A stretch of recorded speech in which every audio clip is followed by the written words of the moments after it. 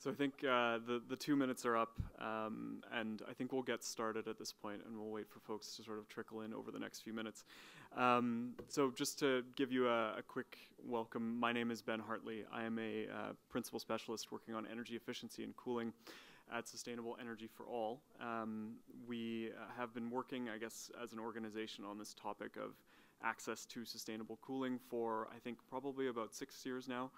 And um, it's the coming up this year in, uh, in 2023, we see an, um, a particularly important sort of moment leading up to a COP28, which we hope to make a cool COP28. Um, so we're very grateful that you're here with us for this session and grateful for partnership with uh, the ADB uh, for putting this on because it's, uh, it's a pretty important moment for cooling and we think this is a fairly important discussion to be having. So, you know, I think you can all appreciate that in a warming world, um, access to sustainable cooling is a key sort of climate mitigation point.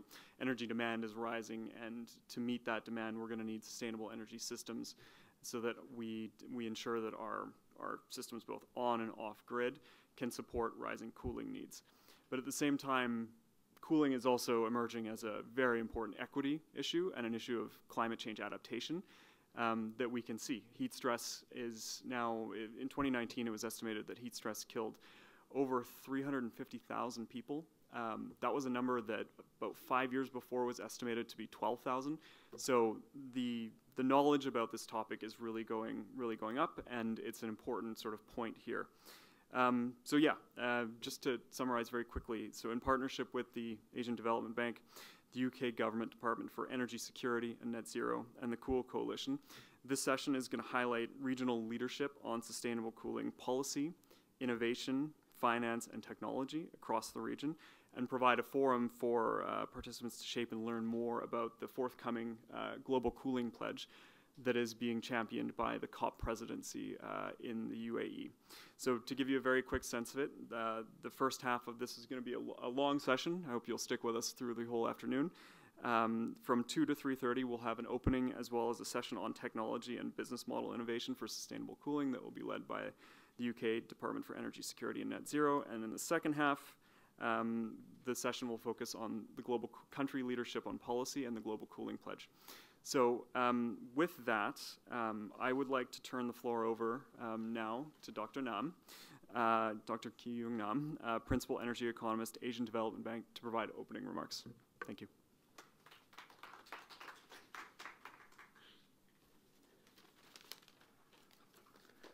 Thank you. Thank you, Ben. This forum should be supposed to be paper paper free, and then everything we turned out to be digital, you know, digitalization and then this mobile app. But the thing is, due to the, you know, several things that I had to carry one print out, so I'm sorry about that. So anyway, so it is uh, welcome all you this afternoon, the Clean Energy Partners I call, because this is meant to be the Clean Energy Forum. So we see all our partners as uh, Clean Energy Partners, distinguished speakers and all the participants here who are audience as well. So we welcome you all. It is my pleasure to welcome uh, you all to the ADB and this ACEF and to this deep dive workshop on regional leadership on sustainable cooling and the COP28 Global Cooling Pledge. Over the last five years, there has been a considerable progress in sustainable cooling that ADB is also part of it contributed both in terms of policy related to performance standards and in the development of innovative new technologies and business models that can make sustainable cooling more accessible to people living in cities as well as in the rural areas. Yet delivering access to the sustainable cooling remains a complex challenge that we see from the ADB side as well. And as uh, uh, uh, Ben was mentioning, energy demand for cooling continues to grow substantially, posing threats to our energy systems and our objective to mitigate the impacts of the climate change. As heat, heat increases due to global warming, it is also triggering substantial risks to human safety, causing increased mortality, great food losses, which we are expecting even more now, and challenging the delivery of our health services, such as the vaccination distribution, vaccine distribution, among others. This underscores how uh, vital sustainable cooling is in people's lives, that it is in service that must also be equitable provided to all if we are to achieve SDG Goal 7. Cooling needs come in a variety of in variety of forms. The need for comfort and safety in the home and workplaces. This is how normally, if one talks about the sustainable cooling, then everybody thinks it's just only the air conditioning system in the residential area in the office.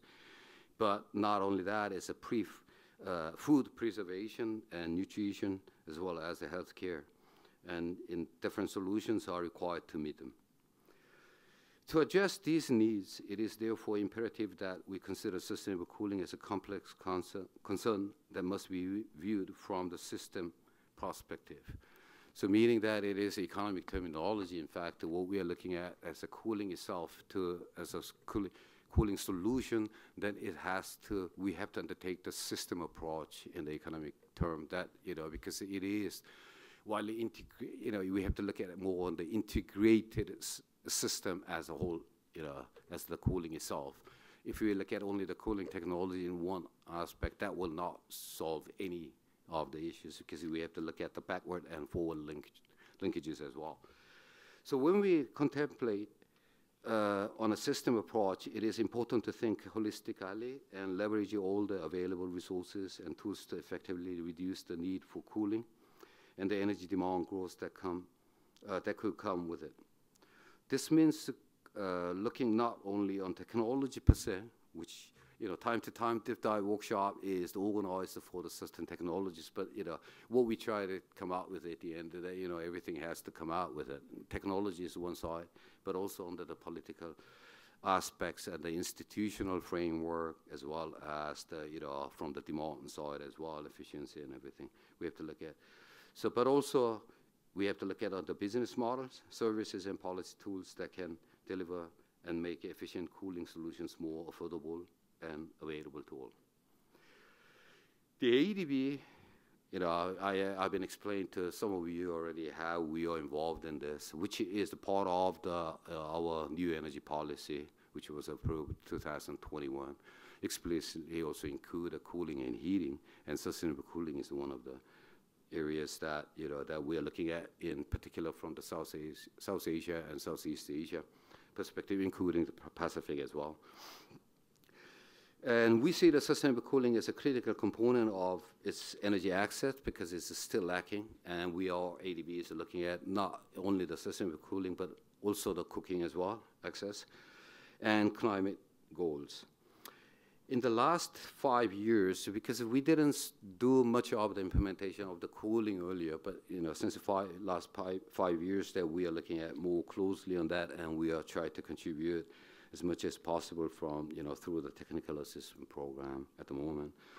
And ADB is supporting various clean cooking, uh, clean cooling initiative to address the specific needs. So just a couple of uh, examples that we would like to share is that currently, uh, let me go from the uh, before one. So we are looking at so cooling. We have conducted a one pilot projects under the technical assistance project that we implemented a pilot project which is the, featuring a, uh, so to say, grid-tied solar PV called the storage system with a net metering arrangement with a local utility. That is the one that which we have implemented and, and that was inaugurated in the northern side, side of Manila. So in the Philippines, I don't know the name. I cannot pronounce. Huh? Yes. I cannot pronounce, but that is the we have inaugurated, and that was uh, quite a good with uh, different types of business model. And this project is supported, uh, supports, the objective of the project was the agriculture sector, to support the agriculture sector, and provides a sustainable cold storage solution for high-value crops and vegetables in, in that area, which enabled actually for the small farmers to have control over the marketing of their products and avoid some kind of a post-harvest losses from their side. And another one, which is the pilot testing, which we are doing, we are in, in, in the process of implementing in Sri Lanka, which is the slightly different. What is that? This is the kind of uh, uh, pilot projects which has a ventilation and air conditioning system, retrofit and greenfield installation, which is in Sri Lanka. How we do it is we have three public buildings, which includes one hospital as well. So, you know, what we do is we deploy there. So practically, it is the centralized air conditioning system. We convert it to the more, through the smart system to be more energy efficient on one side.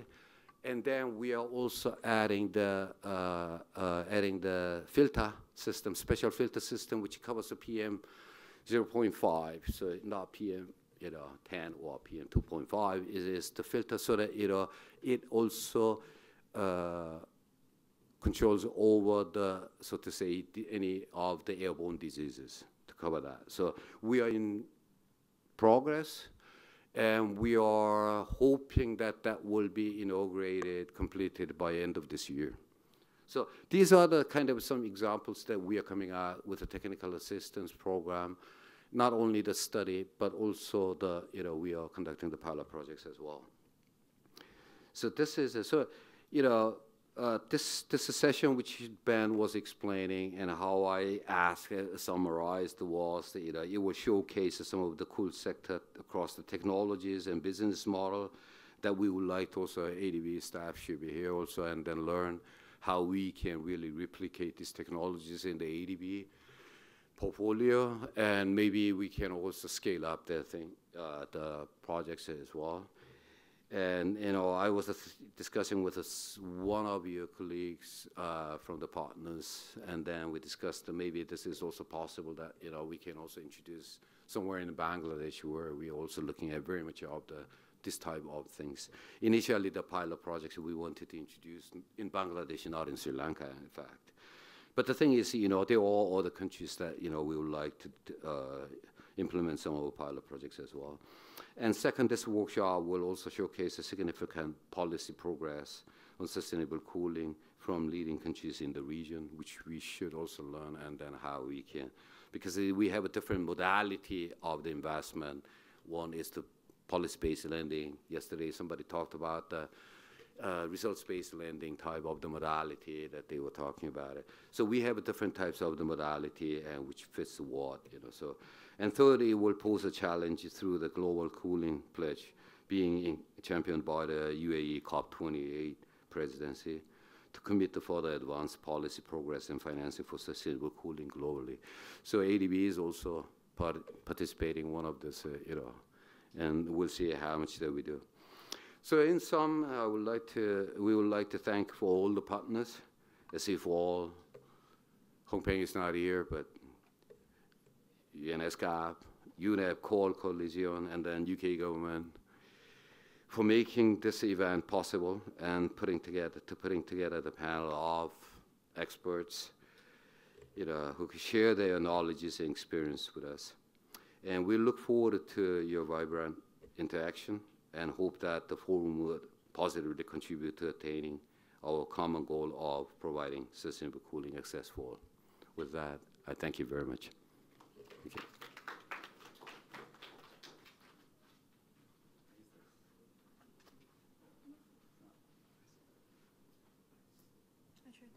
Great. Hopefully this, this works. Um, well, thanks everyone for making the, the long trek over from the auditorium area and for the post-lunch uh, lull. We'll try and keep it as lively as possible to, uh, to keep everyone awake and halfway through uh, the ACEF week. Um, so this, uh, this first session, I'm going to do a bit of a, an overview first from the UK government perspective, uh, which hopefully you can see on the slides behind. But then we're going to go into the first session on innovation uh, and from a technology and business model perspective. And I'll introduce the panelists um, after this quick overview from me. Um, it says on the time I have 45 minutes. I don't think I need 45 minutes for my presentation. Um, I'll only need hopefully eight minutes. Um, but I will try and calculate it as best I can. Uh, thanks, clicker. That's great. that would help. Okay, so now am I pointing it to the back or I pointing it to you?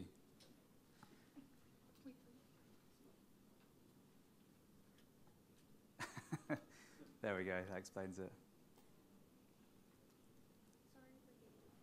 Do I get an extra 30 seconds then? Because the okay, let's see if that works. Can I remember my slides from heart? that's the that's the backup plan. There we go. Um, so I thought what I'd do is just give you a bit of an overview um, of the UK's international climate finance for sustainable cooling in the region. Um, I'll give you a bit of a big picture perspective first of the UK government's um, international climate finance, and then I'll bring that down from that very high level to a very specific case study so you can see how that flows down to, uh, to the ground. And we've got some exciting new work as well that I'll talk about. Um, so a very, very text-heavy slide, but these slides will be available for you um, after, you know, on the, on the ACEF website. So if you're interested in any of the programs that we've got that support sustainable cooling in the region, um, have a look at more detail at this slide. I'm not going to meticulously go over every single uh, text on here, but just to give you the big picture, um, we have a number of um, programs that look at sustainable cooling from different perspectives. So we have some that look at the cooling access issue, some that look at how do you cut the costs down, um, others that look at mitigation and how do you accelerate the commercialization of new innovative cooling technologies um, in Asia Pacific, uh, but also we, we look at other regions of the world uh, as well. So we have um, a clean energy innovation facility, which we're going to talk more about, um, which has uh, some of its delivery through, through the Asian Development Bank. Um, we've got a new accelerate to demonstrate facility that I'm also going to talk about. Uh, and then there's three more, which I'm not going to talk about, um, but happy to, to uh, speak afterwards. Um, the bottom three on here focus more on very specific targeted programs. So we've got one on cooling appliances, which also covers uh, a number of uh, countries, particularly in South Asia and Southeast Asia, a transform energy access program, uh, which, as the title suggests, focuses on things like cooling access, but clean um, cooking as well, more broadly. And you may have heard some of the interventions in, in, in other sessions on, on that topic. Um, and then one looking at sustainable cold chains uh, as well but I won't go into too much detail because two of those I want to come back to. Um, so we're looking a lot at our international climate finance in the context of how it can sort of really link and support some of the global initiatives. So we see quite a lot of push um, now to try and you know cooling up the agenda, and it's great that uh, it's going to be in COP28 uh, this year as, as, a, as a hot topic, and you know, the next session, session two, uh, which Ben's going to be uh, leading, and we'll get some of your views on that, uh, on the, the, Global Cooling Pledge as well, and how we can sort of push this up the agenda. But there are a lot of um, wider initiatives out there. You, you, may know Mission Innovation. This was a global initiative going back to, I think it was 2015, if I can remember correctly, uh, looking at clean energy, RD&D, and how do you accelerate in key areas. So although there isn't a cooling specific um, mission, there is something called the Affordable Heating and Cooling in Buildings, uh, mission, which has been going for a good five, six years now, and trying to see what we can do in, in the building sector uh, on cooling. We're also quite active on the Montreal Protocol. How do you phase down sort of F gases in cooling equipment uh, as well? And we've got some international climate finance uh, programs that do look at that particular uh, area as well. Um, we also have a, a, buildings, a green construction program delivered through the IFC, the International Finance Corporation, um, and that one is really trying to see how can we um, not just decarbonize uh, construction, but also the cooling that's needed, um, particularly in hot countries. Uh, so that one actually mainly focuses, I think, on Southeast Asia, that program. So I wanted to just quickly cover a commitment that basically is, is our sort of future for the way we're thinking about a number of our international climate finance programs. So with this one, um, it looks at uh, clean energy uh, research development demonstration. We see that as a, as a big gap as well in the cooling space, and that's why we wanted to dedicate a whole uh, session uh, today on innovation. Um, so really, how do you accelerate some of these and scale up some of these really innovative technologies that we're seeing in the region? And you're going to hear from uh, two innovators on our panel about some of the, um, the enablers and, and challenges uh, that they've faced as well in trying to sort of scale these technologies. So we're really looking through that lens for some of our climate finance. So it's a £1 billion uh, commitment under our 11.6 billion total international climate finance. So it's a good chunk of money, um, and it covers all the programs I mentioned before, plus a whole other suite of programs as well, and new programs uh, that we're developing. Um, so we're looking across the whole innovation chain for this. So if you look at cooling as an example, um, you have programs that are trying to look at the earlier stage part of the chain. So that's the research development, university lab testing. The bit that I personally work a bit more on, which is that valley of death in the middle, which is where you've got after the university stage, but you're not quite at that scaling of these uh, technologies. Um, and then we've got some later stage programs looking at innovative financing mechanisms, things like advanced market commitments, green public procurement approaches, um, you know, patent buyout types of uh, financing mechanisms. And these are really interesting models that haven't really been hugely tested in the cooling space to date. Um, there's been quite specific um, approaches that we've seen. You might have joined the energy efficiency session yesterday or the day before, um, where there was a speaker talking about India's work on um, green public procurement approaches. So they're very interesting approaches for this area, but there's also other ones that we want to look at uh, as well. Um, so these are the programs. Some of these I mentioned in the slide before. Um, but if you're interested to get more details, um, yeah, talk to me after. Uh, I probably won't go through this in a lot of detail, but how we're looking at delivering this £1 billion commitment is uh, focusing quite a lot on the themes. I don't know if it's got a buzzer. Yeah, it does. Um, we're looking at things like sustainable cooling as a, as a key focus of this. We see this as a big challenge.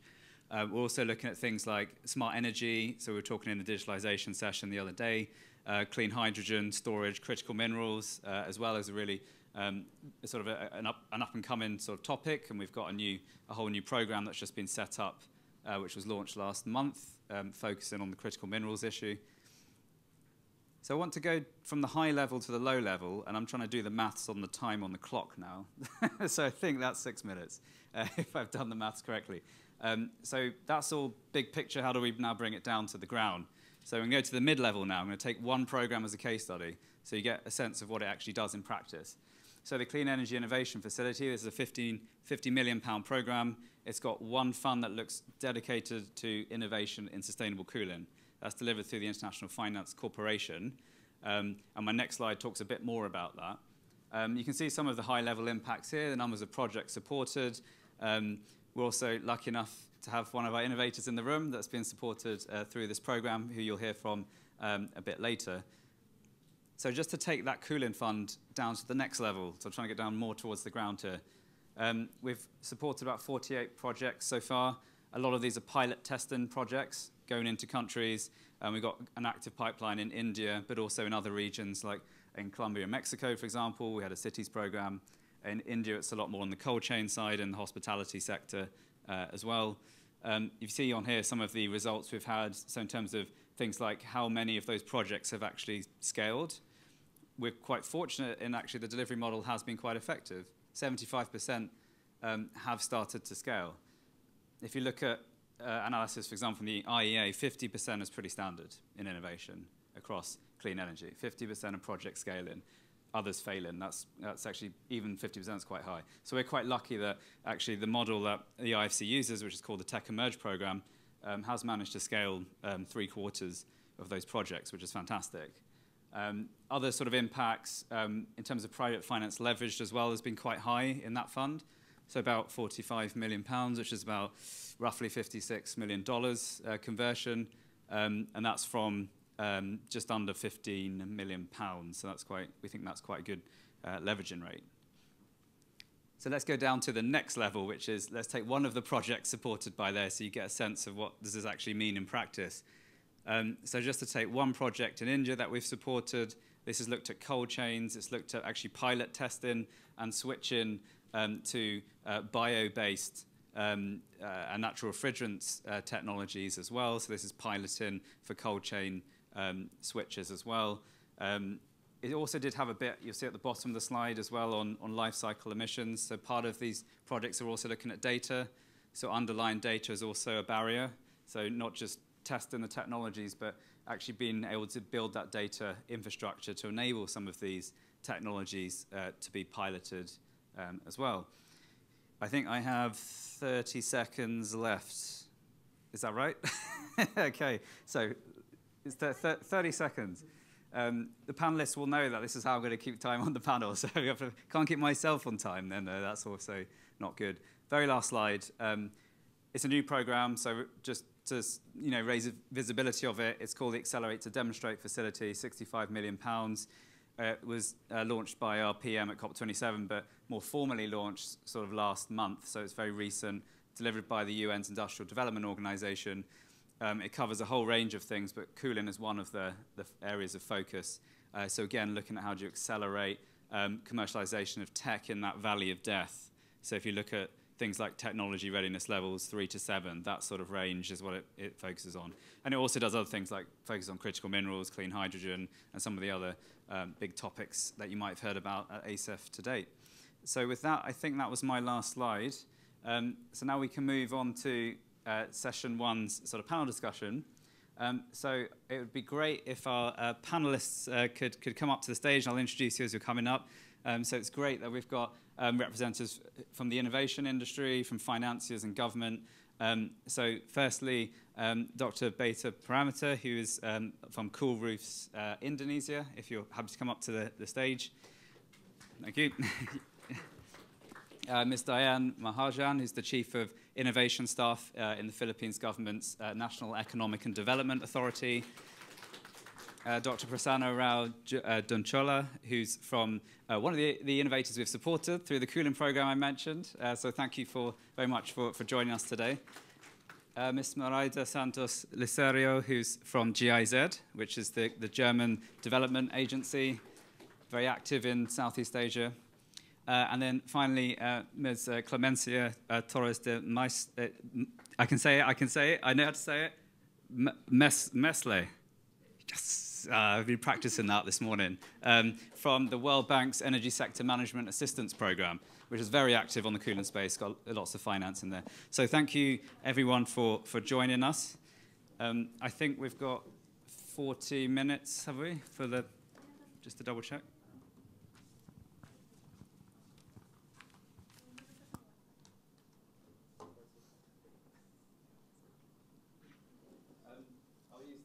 I'll use this from now on, yeah? Great, uh, fantastic. So for the panelists, um, we've got a series of questions that I'm going to start off with, and then we'll open up for Q&A. Now, I've heard that in this room, they don't use the app. So I know you might have been using the app for if you were in the auditorium rooms, but apparently for this room, it's all going to be through the live um, speaker that's, that's coming around on the mic. So just to flag, it may not work if you post a question, but uh, later on, do definitely come in because we want to make this as interactive uh, as possible. So I'm first going to ask each of the panelists just to. Sorry, you probably couldn't hear me. I just realised. You can hear me now. Okay, I, I, like to move a bit, so I'll try not to move too much. Um, I'm going to first ask each of the panelists just to introduce themselves a bit more, more broadly about their role and what they're doing in either the cooling or innovation space, um, and also just to first cover what they see as uh, the top two enabling uh, factors for either cooling innovations or, or innovations uh, in, in, this area as well. So we want to start on the positive. Let's get the opportunities uh, and enabling factors before we start talking about some of the challenges as well. Um, so if it's okay, we, I'd like to go uh, down the line if that's, if that's okay. So start with Clemencia from the, the World Bank.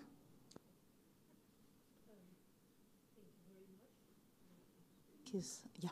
Uh, good afternoon. Thank you very much. My name is Clemencia Torres de Mestre. I work in the ESMAP program, which is the, uh, the Energy Sector Management Assist Technical Assistance Program in the World Bank. And uh, the objective, we, the, basically the objective of what we do, which I think is what you want me first to explain, is that we work in many areas that have to do with energy in terms of getting the development impact, meaning access and efficiency, and also the decarbonization and the cleaner transition towards uh, cleaner energy. So we always work, if you want, with those two legs. And in that context, in ESMAP, we are I would say kind of a think tank within the World Bank, but we are we focus on different things. And I think that that defines what cooling is. Cooling goes across sectors. So we work across sectors from health, agriculture, urban, and other areas that I'm missing, but we, fishery. We work from the pure knowledge dissemination, knowledge creation, to the support to pilots and to the investment part and the way we do that is that our funds leverage the operations of the team in the World Bank. So we, the, the global part is a public good for all of us, with partners, with clients, uh, without any attachment. Everything is free and public. And in terms of influencing and leveraging the operations, we work through the World Bank. And we are last, we cover all the regions. In particular, we are active in Asia and in the, in the Pacific. And um, we do that by different programs, which I outlined. You, you stop me if I go too, too, too long.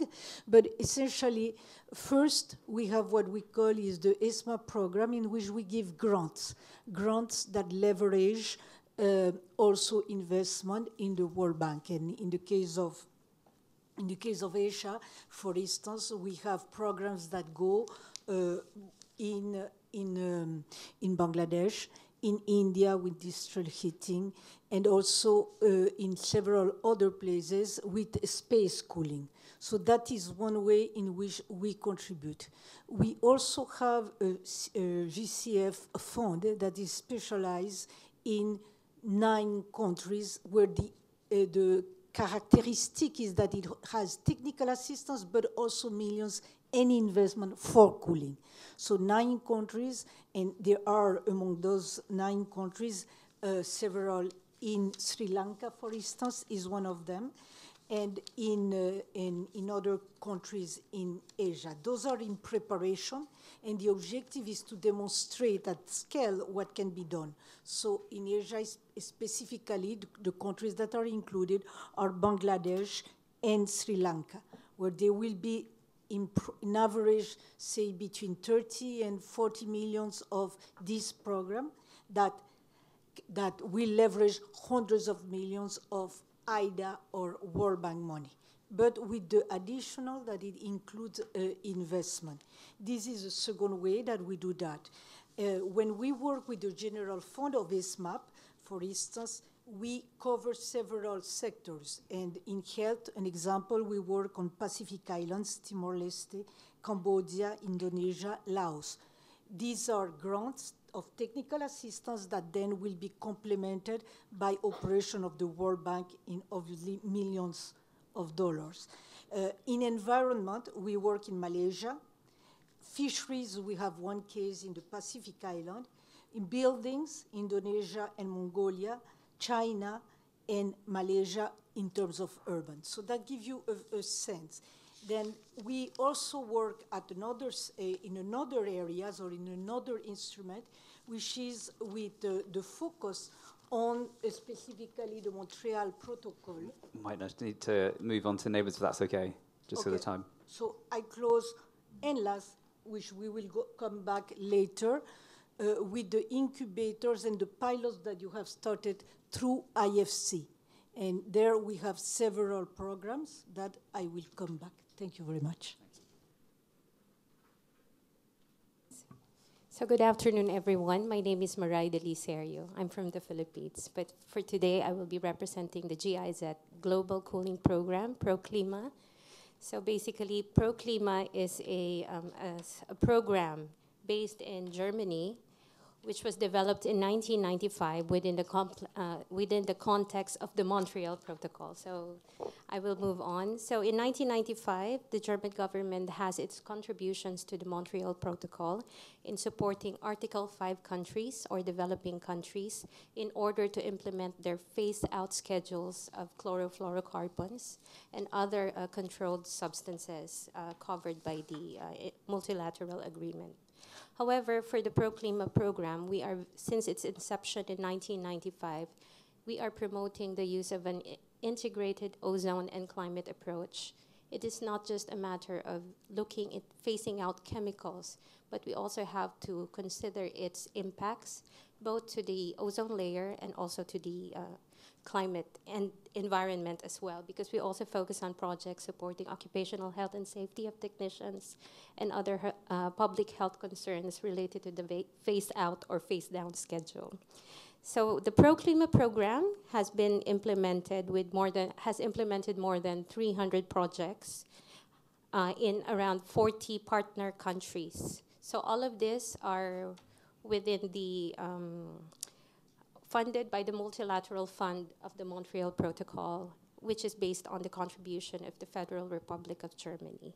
So we operate in the context of compliance mechanisms. So if a country decides to go for both uh, climate-friendly technologies as part of its phase-out schedule, Proklima can develop a uh, project, uh, a project concept that focuses on measuring, reporting, and verification of both the uh, ozone impacts and also the climate impacts of these projects. So with funding from BMZ, the Technical uh, Cooperation Agency of uh, the German government, the International Climate Initiative of the Environment Ministry of Germany, we also do projects funded by the European Union, all of them integrated ozone and climate approach. So we always choose the most climate friendly technology. So it's not a matter of uh, choosing a specific type of technology. The technology has to be assessed in terms of its climate impacts. So we support countries by conducting greenhouse gas inventories. Uh, for all uh, refrigeration and air conditioning subsectors. So the subsectors of refrigeration and air conditioning is unitary air conditioners, chillers, uh, domestic refrigeration, transport refrigeration, mobile refrigeration, and of course the cold chain. So in the Philippines, we are very specific in supporting the um, regulated products under the Philippine Energy Labeling Program. And we're also supporting the Philippines in conducting the calculations for a more ambitious NDC in its next update. So we are also implementing MLF projects in India, China, Papua New Guinea, but we are implementing climate projects in Southeast Asia. So there are three major projects in Southeast Asia, Cool Contributions Fighting Climate Change, Green Cooling Initiative, and our newest project, which covers both um, the life cycle of refrigeration and air conditioning equipment, which is the Climate and Ozone Protection Alliance. So our approach, we, we have a three-prong approach in implementing cooling pro projects. First, we have to do a technical advisory, which is rooted in conducting a transparent a greenhouse gas inventory of the sector. So we have conducted greenhouse gas inventories for the Philippines, Thailand, Indonesia, uh, Vietnam, so this is based on a tier two approach of the IPCC, the Intergovernmental Panel on Climate Change. So it is, uh, the experience we have is this is a totally different approach from the Montreal Protocol, which is just the total number, the total volume of refrigerants multiplied by the quantity. We also perform capacity development activities. So we train technicians refrigeration and air conditioning technicians in order for them to adapt to the changes in technology in refrigeration and air conditioning. So we are also focusing on a just transition to green cooling and also a climate-friendly refrigeration and air conditioning sector. Finally, we do technology transfer, working with the other implementing agencies of the Montreal Prot Protocol, like UNIDO, UNDP, UNEP, the World Bank, We are also conducting uh, investment projects and prototype developing, development for uh, air conditioning products, but basically it is focused on natural refrigerants with the least impact to the environment and climate. That's it.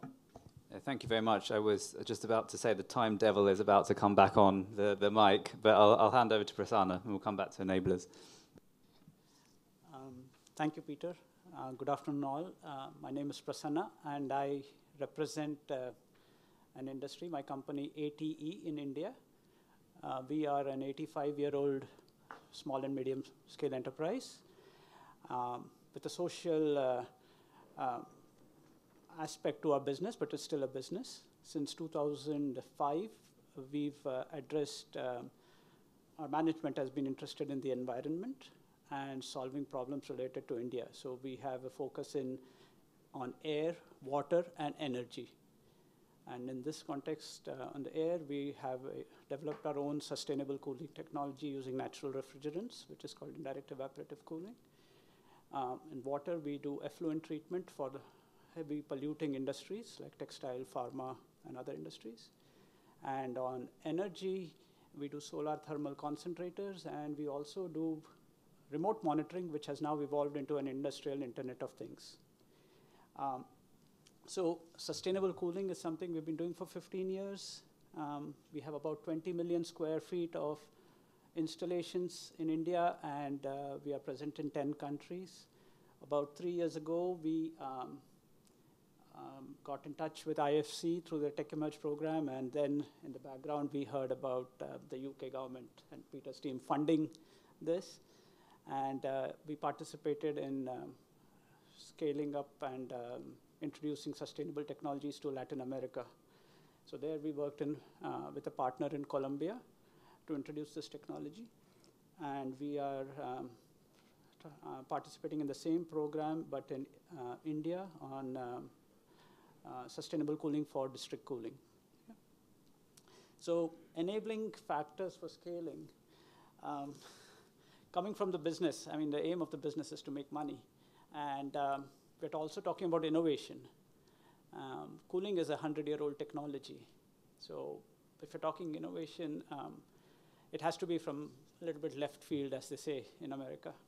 And um, maintaining that constancy of purpose over time, because you are going against the tide, uh, uh, that is very difficult. I mean, and uh, that is what our management has been able to do. Um, maintain that constancy of purpose, um, funding it.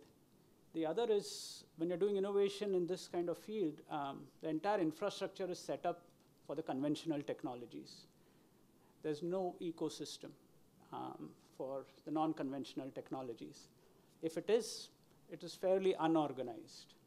Um, so setting up that ecosystem is also part of everything, right from the first sale, which is a concept selling, then making case studies. If there's no laboratory anywhere, then setting up your own laboratory, certification of all the technologies. And you have to do this in the context of the business, and that's what I appreciate uh, what AT has done. So we've been doing that. Um, we've been fortunate, again, I said, with IFC. So we were, everything was a project for us. Uh, convincing a customer used to take a year. Um, but buildings are built in much shorter time scales. So now we are moving over to standard products with our technology. And that was, again, a learning for us um, in a country like India. So having a strong team um, uh, is needed for this um, building the ecosystem. We are there, we are getting there, but it should be beyond the company itself. It should be a community, technical experts, whether they are in the country or outside, um, having infrastructure, laboratories. And when I talk about funding agencies like, um, you know, uh, we, there was a Global Cooling Prize. We were finalists for the same. Again, the UK government funded part of it. It's about keeping that going for four or five years because it takes time to set things up, to develop people, develop everything. So I think that is also very strong enabler. Thank you. Good afternoon, everyone. I'm Diane Maharjan. I'm the Director of the Innovation Staff under the National Economic and Development Authority. Our unit is new in NEDA. Uh, we, we were just established last uh, year uh, pursuant to the Philippine Innovation Act. Uh, we serve as the secretariat to the National Innovation Council. This council is a 25 uh, member, uh, 18 from the government and 7 from the private sector. This is being chaired by the President of the Philippines and vice chaired by the Secretary of NEDA. So uh, as a secretariat, we also coordinate the formulation of the National Innovation Agenda and Strategy document and uh, the promotion of innovation in the country. So as a planning agency, there are two uh, plans that can um, facilitate the enhancement of innovation in the country. Uh, one is the Philippine Development Plan 2023-2028. This is uh, usually crafted at the start of the administration which uh, spells out the key priorities of the, the administration. So in one of the six cross-cutting strategy in the plan is the establishment of a dynamic innovation ecosystem. I think I'm echoing what my colleague here is saying. And uh, we believe that an, an ecosystem needs to be established in order to sustain innovation in the country. And um, another document that we are preparing is the one I mentioned, uh, the innovation agenda document. Uh, it will uh, further specify the strategy on how the government can improve the innovation government governance through various uh, levers such as the policies, infrastructure, um, finance, and uh, programs for innovation. Uh, so for the two enabling factors that can uh, affect the scaling of innovation solution, uh, apart from the ecosystem that was already mentioned, another one is to link these innovators to various financial packages and uh, investors. At the government side, an enabling policy, uh, we already have one.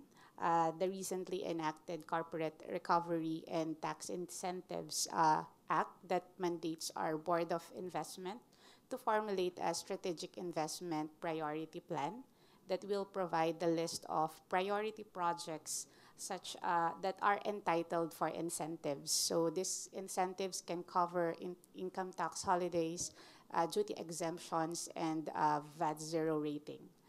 Um, so under the tier two of this uh, priority plan is actually the sustainable cooling technology. So uh, with this um, enabling policy, it can encourage uh, businesses and enterprises to invest in uh, green cooling. So in addition to this, the role of the government is actually to provide the platforms and avenues where the innovators can actually pitch their uh, technologies or their their innovation and inform markets about the existing uh, innovative products. The other one is to actually improve the market for these uh, green solutions or these uh, sustainable cooling innovations. Uh, the government can serve actually as one of the primary um, consumers for um, these uh, cooling innovations. Uh, this can be done by institutionalizing the procurement and adoption of energy efficiency and environmentally friendly air conditioning and refrigeration system. Okay, thank you. So I guess UK and Indonesia is not just far from the map, but far from here. okay, so thank you have, uh, for having me here. My name is Beta Paramita. So basically, I'm assistant professor in UPI, uh, Universitas Pendidikan Indonesia. But since I got the grant from the Climate Works uh, in 2020, 2019, so uh, we're settling the startup. We call it Cool Indonesia. That's the product for the cool roof. Uh, that's the partnership. Uh, be from my university, uh, also University of Florida, and also Millennium Solution US. So this product actually uh, adopted the technology from US when they uh, support us the license, and then we locally and uh, find the raw material uh, in the in Indonesia and produce in Indonesia as well. So our product since 2019 until now has already covered around 115,000 square meter roof. And actually it's also can be covered for wall. So uh, basically it is can be reflected the solar radiation and then reduce the heat transfer directly from the surface area comes uh, indoor. So our project uh, last time uh, in Jakarta, nearby Jakarta, we can reduce indoor temperature around 11 degrees Celsius. That's very, for me, myself, uh, we are surprised about our uh, yeah, success, this success, because uh, this product is not just like a good innovation for uh, cool, uh, sorry, passive cooling. This is also can be leveraged for the low income housing, uh, which is in Indonesia, we have like 17,000, 15, 500 two islands, which is very a lot of uh, low-income housing, and they are surrounding with the uh, and with the sea level very very severe for the for the heat stress. Also with the yeah also for the another uh, heat uh, for global warming. So uh, our product also we have the opportunity to scale up this innovation, not just uh, in Indonesia. Last time we talked in the Southeast uh, Asia country like Philippines, uh, Singapore, Malaysia, we talk each other how if they want become our uh, partner. So this is also good collaboration between Southeast Asia. We have the same uh, problem. Uh, big island also have the same high humidity, high precipitation, also long uh, solar radiation. So I hope uh, our product also can be one of the solution for the passive cooling. Thank you. Great, thanks very much to all of our, our panelists for the opening. Um, I want to, to come back um, to, uh, to, to Beta and uh, Prasanna actually on um, how do you, what do you feel are some of the enablers and barriers to really trying to scale these technologies? And you, you know, you've done, you've got a, a, good portfolio. It's been quite impressive um, uh, impacts that uh, in both cases have, have achieved. But what has been some of the challenges, but also what do you think might be some of the solutions to really take it to the next the next level? So are there particular, you know, stakeholders, private financiers, or, or other stakeholders that can really support in that process? Yeah, that's the good question. Uh, for the positive side, uh, because I'm in a university, uh, university actually uh, uh, I, I guess every country have the same uh, perspective of the university. They have the good trust, and we have like community services program. So the first time when we try to introduce to the community, they still like don't have any idea what is the cool roof itself. So it is very new product in Asia also Southeast Asia uh, especially. But uh, this is actually not a new product in US or UK, uh, but in our region is still new. And then uh, that's the barrier for the knowledge. But when we try to do like CSR, uh, like the charity, and then we try to make some project pilot, pilot project to several building, like in the, uh, like in mosque also education, and then they see all the all the benefits, so they can, uh, yeah, so they can uh, accept all the this this product. So that's only the barrier. Only the this is very new product in Indonesia. Um, from my side, um, like I said, uh, cooling products are um, I mean, it's a 100 year old, conventional cooling technology is 100 year old. Um, so there's a whole infrastructure around, that, even at the customer side, all the building uh, inventory and everything. So if you want to go into these buildings, um, what you need to do is first awareness, as uh, Beta just said, everyone has been talking about. Awareness um, is uh, on various levels, but the best is references. And in a country like India, I mean, though data helps, it usually is follow the neighbor, um, you know. And um, you can't share the data from one neighbor to another, but you still need data. So having third-party validation is important. So with your cooling technology, um, again, this cooling technology is, um, there may be a handful of players around the whole world right now. Um, it's not new, but it has been tried in the past and uh, uh, it has been replaced by conventional air conditioning. So methods have to be developed. And um, third-party validation, sensors. Um, and once that is done, um, it scales up much better. So what we found is going to multinationals in India, because India's economy opened up the, in the last 20 years, 25 years. Um, multinationals have been good adopters, um, but we still haven't been able to break into tier two, tier three. Um, we are a B2B company only. Yeah.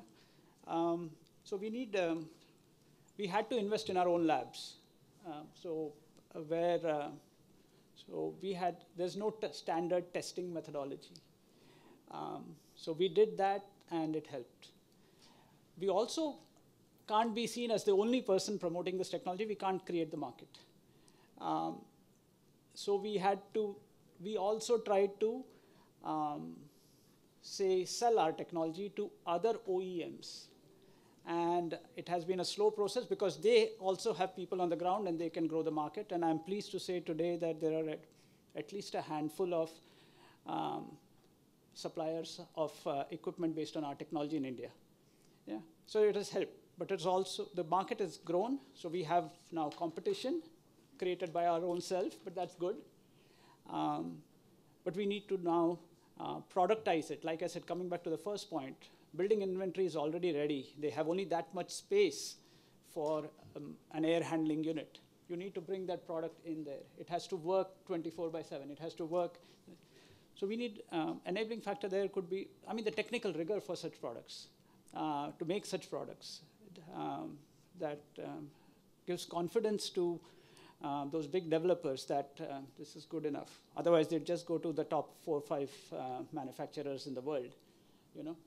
Um, so having that kind of um, support um, also will help uh, take this um, to the next level, making the products. So all this requires time. So I think from a financing point of view, the support um, is money and, um, uh, I mean, money is there. There is uh, no shortage of money around the world or in the country. It's about time um, and uh, this particular knowledge, because um, every technology is not um, a one-to-one replacement for anything else. Um, so multiple factors uh, have to be thought out. So learning from others' experience and customizing it into our products for the local market. Um, uh, it takes time. So um, I, if, for example, uh, the global cooling prize uh, was launched in 2018. It was, uh, or 19. And um, COVID came, it got delayed by a little bit. There were eight finalists. Uh, there were two finalists from India. Both the technologies were with our technology. And we are still in the beta trial of that product right now. And the aim of the global cooling Prize was that within two years you would be at scale or something like that. Um, that doesn't happen on the ground. Uh, so, so it will take time, uh, but we are working on that, and um, I think I'll leave it at that. Um, you know, case studies, um, some time, validation, you know, around that theme. Thank you. No, thank you very much, and that's a, fantastic segue uh, as well to, to my next question, um, because uh, as you've highlighted, time is, is so crucial, and and yes, um, sometimes you might hear in other other forums about finance being a barrier, but um, sometimes it's a, a, perception of finance, and as you said, actually there's quite a lot of finance in the cooling space out there, but actually time and being able to scale over time is uh, is, is the challenge, and having that um, persistency uh, with a number of stakeholders. And both you and Beta have highlighted some of the key stakeholders that, that need to be uh, involved in this process. So I wanted to move this question um, to, to, Diane, if that's okay, about um, you've got lots of really exciting innovation strategies that are being developed, and you mentioned a few types like the tax incentives, etc. Um, how, how have you come up with, the, I guess, the, the decision to to decide on different types of ways to support innovation? I mean, have, have you sort of tested different models of, of that and, and to come up with the uh, what you think would help with the scaling and that time question uh, that Prasanna and Beta have mentioned? I think the the growing demand for um, innovative products and uh, during the time of the pandemic, um, innovations has spur because of uh, well, sometimes when the resources are scarce, you tend to develop more, to become more efficient. So uh, I think the policy environment was there and it was uh, further um, strengthened, uh, the, the implementation. So since the enactment of the, the law in 2019, then the pandemic uh, also become a learning experience from us that uh, we can innovate and uh, not only to survive but to uh, to still progress, uh, especially the enterprises. Then uh, with this new administration, innovation becomes a priority to drive our economic uh, transformation. Uh, this administration's priority is the social and economic transformation and to create also more jobs and um, more um, the entrepreneurship become more thriving in the country. So the the plan has set it already, and the programs will follow suit based on the to implement those uh, the plan, the strategies in the plan. So innovation will cut across the sectors, but we also prioritized um, research and development, technology, and innovation continuum. So we have uh, specific strategies and priority programs for that as well. Um, in terms uh, linking it with climate change or sustainable cooling, uh, even before the uh, during the previous years, the government also um, showed their commitment to climate change by submitting a very high um, nationally determined contribution. And uh, climate change is always a, uh, a bedrock strategy in our plans and, and a priority program. And just to share with you, during the last um, National Innovation Council chaired by the President, uh, he actually underscored the importance of climate change and environmental sustainability uh, and ensure and directed us that uh, the innovations should also address our climate vulnerability by developing a more sustainable innovations. And to that, the seventh um, private sector representative will be a climate change expert. So uh, although this is still under the process, the last one, but the others are already appointed. So uh, in the coming um, meetings of the NIC, the climate change expert will be part of the council. Great, and that's that's fantastic to hear as well. Um, so th thank you very much, and yeah, re really really interesting to hear as well about um, how it's, it's very much a priority for for the government as well, and that you've got a climate change expert that's going to join uh, the panel as well. I, I, definitely want to pick your brains on that after after the uh, after the panel. Um, so I'd like to move to our two uh, donors. I'm going to put you in that category. Um, um, so I my question's slightly different. Um, so it, it's it's about so I mentioned about the finance and you know the, the, access to finance and actually there is finance out there but sometimes it's not you know necessarily uh, that you can access it. But do you feel that the climate finance architecture for cooling as a whole is sufficient? So we know there are existing facilities but in your view from your experiences do you feel that um, that it is sufficient? So not necessarily the quantity but the way that climate finance is delivered for cooling I think on behalf of my organization, it's climate finance must be fundamentally rooted in transparency. So uh, I, the Paris Agreement has an enhanced transparency framework in which climate finance must be based on. But I think for countries, the understanding of the concept of transparency is still not yet very clear, or there is still a, a common understanding is still not yet fully um, implemented. But as um, Prasanna mentioned, in countries like the, uh, in developing countries or Article 5 countries of the Montreal Protocol, um, it is very difficult to innovate because uh, the specific uh, technology has no standards. As you know, standards uh, for the product, the process, and the people are, there are standards set by the international standards organizations and promoted by the Montreal Protocol. But the problem is the conformity to the standard itself.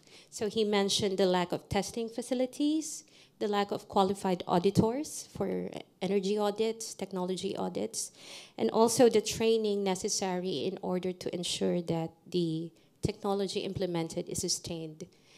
Um, it's not only sustainable cooling, but sustainable transition, which is just. So I mean, the, the workers do know, because on the side of GIZ, we have a strong component on training uh, technicians working on cooling technologies. And I think for it is not just a simple air conditioner that you have to be trained on, but the scale and the magnitude of the cooling requirements must also be equivalent to the competency of the person working on the cooling system. So I think one, one of the support areas we have is conformity to the standards, not only of the equipment or the technology, but of the people working on the, um, the technology itself. Great, no, thanks very much. And, and that, that sounds like a, a suggestion for more technical assistance types of uh, climate finance approach. And we know that ESMAP is a leader in technical assistance looking at standards.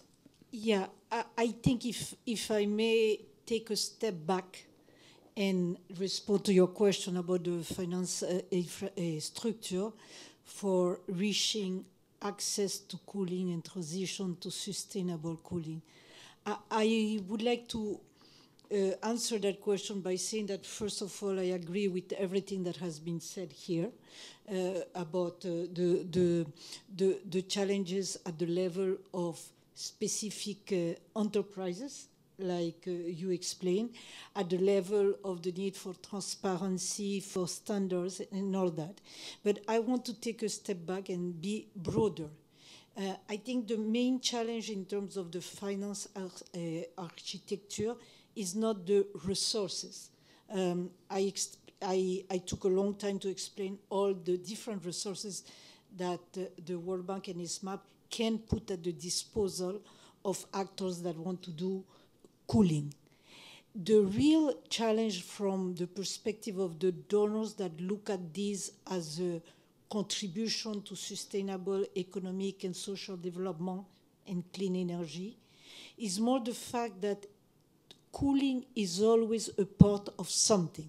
I mean, it, we, we focus on the discussion on cooling, but if you think two steps back, cooling is always part of something. For example, uh, agriculture cold chain in agriculture, cold chain in health, vaccines, but not only vaccines, uh, passive cooling in urban areas, and I could continue. When you think about that, cooling is important, but cooling will not do it alone. Uh, if I go back to the cold chain, the cold chain in agriculture requires transportation. Uh, you, because cold chain using cooling will be a success at the scaling level only if it reaches aggregation. You don't put cool, cooling artifacts in every former house. That, that's not you, how you do it. You do it at a massive level, and then you have transportation to the individual farmers. So the big, the same, I would say, when you look at urban air conditions that we have discussed this at length is very important, but it's only one item that will achieve an urban area where you have really clean energy. And so the main challenge that we face uh, is not so much the existence of resources, but the challenge of scaling up and integrating any activity that you do in cooling in the real chain of activities, be health, agriculture, urban, or others. Only there you can achieve from a development and clean transition a real uh, impact. Because, of course, is a beauty is a great success doing it at the pilot level, but as you have explained it very much in detail, the, the proof of the pudding is be sustainable and be at scale. So I, I, I think that this is what I would like to add. Uh, I hope I am addressing your question. Thank you. Perfect. No, thank, thanks very much. And now we've got an opportunity as well to uh, get questions from from the floor as well. So we have a break at 3:30. So I think we've got about 15 minutes, let's say, for questions. Um, so there's a roaming mic that hopefully can come round because uh, I know that you mentioned the app is uh, not working. so yeah, question there.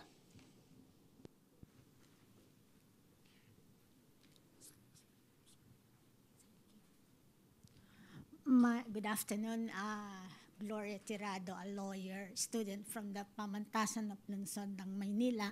I'm here to write a thesis, but my question goes, first question goes to uh, the uh, NEDA lady. Mom, I would like to ask, I used to be a head of a human resource in one of our government uh, agencies. We do have an employee Actually, it's not, he's not an employee, he's an SB personnel who got an invitation from the uh, Australian government to present his paper about this uh, sizing of battery energy storage system in a photovoltaic off-grid. Uh, I, I wanted to help him, so what I did is I wrote a letter to DOE.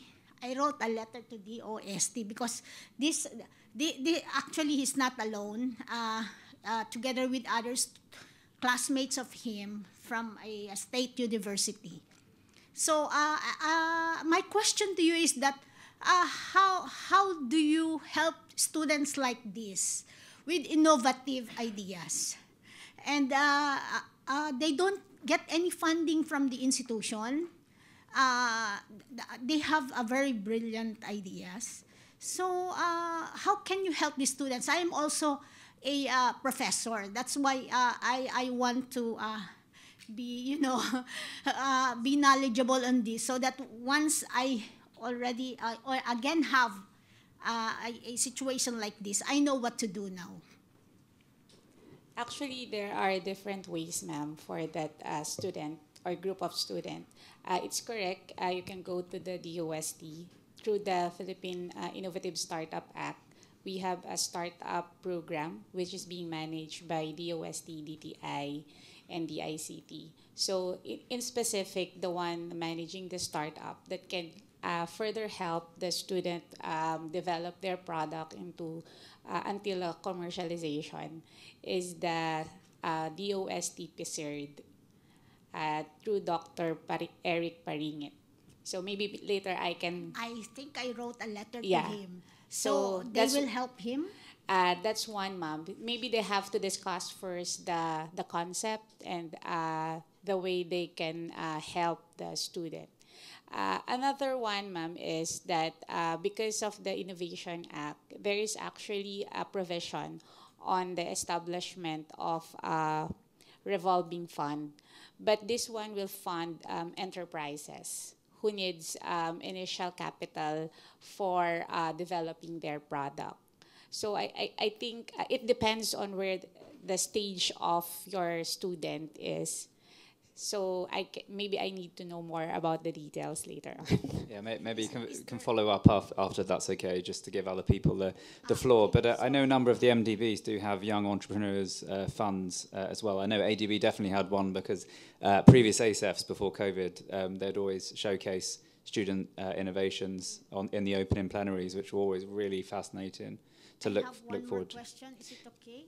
Or Can we? Can you hold it, and then Ah, I'll okay. give others the opportunity, Sure. and then I'll come back to you. But thank you for your question. I think the lady at the back uh, had her hand up.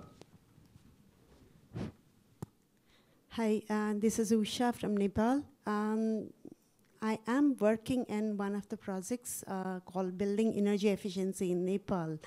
And uh, as you all know, space conditioning is taking up a lot of energy right now. And in Nepal, it's a fast, one of the fastest growing urbanizing uh, country. It's a small country, but it's fastest growing in terms of urbanization. And the space cooling is taking up a lot of energy. Uh, while I was listening to you, uh, there are few innovations done.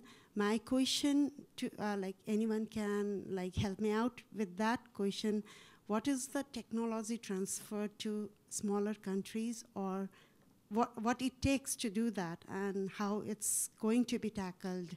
Uh, I want you to know that because there are problems and uh, there there are people who would like to take it up as a business, as a project, and also uh, the technology transfer could be um, one of the Thank, issues. thank you for the question. I'll pass it to Marida. Yeah, um, I think for technology transfer to smaller countries, it's also essential that there is a standards conformity component. Like for buildings, in the Philippines, we are starting with a Building Energy Efficiency Index. So there is a, a measure for buildings to um, determine its level of energy performance. However, you have to first set a standard for your buildings in the first place. So um, actually, GIZ does support um, adoption or uh, creation of local standards. So we can do it through a, a technical assistance or a technical cooperation project on behalf of the German government. Uh, just to elaborate further, um, in terms of ESMAP and of the World Bank, and I would say in general, uh, I would say the, the multinationals and the multi development agencies and perhaps also bilateral, is that usually you can have a transfer of knowledge because there are many activities that foster that exchange of uh, knowledge between countries or dissemination. But usually the way it happens is that the government will have a program or will have some activities and discuss that with the development agencies. So it will not happen so much on a case by case firm, but rather a program that can help either a sector or a certain group of activities, like the, the incubators, the things. So the, the best way to do that is to be aware of the kind of priorities at the level of the government where your needs can be addressed, and also be aware that there are standalone exchange activities of knowledge, like, like where we are today ACEF, but there are many others organized exactly for that purpose of exchanging knowledge, and that is the beginning for after that knowing what exact program you could then tap on and go further in terms of technical assistance. So it's a matter of, of really investing time in understanding what kind of programs uh, the development agencies that work in your countries and in your sector can have. And the first thing is easy is internet. That, that gives you a sense of your, where you can get the help. Thank you. Um, if I may ask uh, a clarification, is this a one-off case? Are you working and are you looking at this from a context of the government or, or a uh, private enterprise? Uh, no, I'm uh, working for a project funded by European Union under the Switch Asia grant program, mm. and we are working with 60 uh, local governments to put up a bylaws uh, that are um, supporting the sustainable housing, or let's say energy efficient housing. And one of the needs for um, housing is the space conditioning, and we are looking into the aspect of uh, looking into, into the possibility of RE-based technologies or energy-efficient space conditioning systems, and cooling is one of the major need uh, in these projects. So we are supporting the government also, government, in local government, I would say, to develop the bylaws uh, towards that one. Standard, I do understand, like, but how to help the I mean, private sector, the uh, the small yeah. enterprises or uh, medium and large scale enterprises who could transfer these uh, innovations to Nepal and have the sustainable supply of See, those materials. Yes. I mean, coming purely from the other side, the business side, yeah. you directly approach them. The um, you know Nepal has its own microclimate. You know, though it is different. Um, depending on the situation there on the ground, what is the space required, how much is the cooling required, is it heating or cooling mixed and other things, you can directly approach us or any other um, technologies if you have shortlisted them. Yeah. It could be a, case study you could just do on a private basis first before approaching and uh, you know other organizations and then doing a comparison and other things. We can talk after the yeah, thank uh, you. And not only our company, but other I could introduce you to the yeah, I think uh, as far as I have the uh, knowledge and uh, technology transfer is not straightforward. Um, yes, there is a there is an investment required for technology adapt adaptation. Like there is a lot of work to be done when the technology is being transferred from one country to another. It so depends on the model I, applied. Yes. Yeah. yeah. Uh, I would add two different things to the to the conversation. I think you are talking perhaps about two kind of needs. One is the one of of transfer at the level of the sector or a program. This you can do by technical assistance with the multi the multi development agencies, and also, for instance, in ESMAP, one of our core mandate is to have uh, knowledge so to, to disseminate knowledge. And so part of the questions that you are asking, you may find them already in analytical pieces or in best practice, good practices that you will that we have developed precisely to help with this transfer, not by copying and pasting, but by looking at the exact program and extracting uh, good practices and recommendations. So I think that that is at the level of transfer in a systemic way. The second one, if it is at the level of the firms where you are having a problem and you are asking for who could answer that, is the kind of prog program that, that in IFC, and you are one of the participants in the Tech Emerge, where you have both, you identify the innovator after having understood what is the user need. So there is a matching made that basically will understand the problem that you're trying to face and will try to uh, match you with somebody in private sector who could answer that kind of problem. So is a, is a two level of solutions, one at the level of the enterprises and another at the level of the sector. Thank you. Yeah, and I think I think definitely following up on that um, that that TechEmerge model is an interesting one as well. Um, I think there's obviously a lot of different ways to facilitate and support innovation. The TechEmerge uh, model is just one, and it's a matchmaking approach. Um, there's obviously incubators, accelerators. Um, ADB has ADB Ventures that looks at venture investing in that slightly later stage, and that's more about the business model. Um, so there's lots of different ways to facilitate it. Um, I think the sorts of examples given here um, are, are, very good for that sort of tech transfer, knowledge transfer piece that, that you mentioned. Um, we have time for a couple more questions. Um, so if no one's got their hand up, I'll, I'll go back to um, our la uh, the lady who is a former HR uh, head in, in the Philippines. Uh, my next question goes to the World Bank personal mom uh, Clemencia Masley, concerning the sustainable cooling, that technology. How far is World Bank in terms of uh, in terms of social security for the people working working force? I mean, do you have a particular project wherein you are looking at the workforce uh, in terms of this uh, technology on sustainable cooling, uh, in correlation with social security, meaning uh, their welfare, uh, uh, are those partners of yours? Let me try to address your question if I under, understand it correctly. I would say that when you, if your question is okay, you are doing some sustainable cooling, and then that will imply activities by workers, obviously.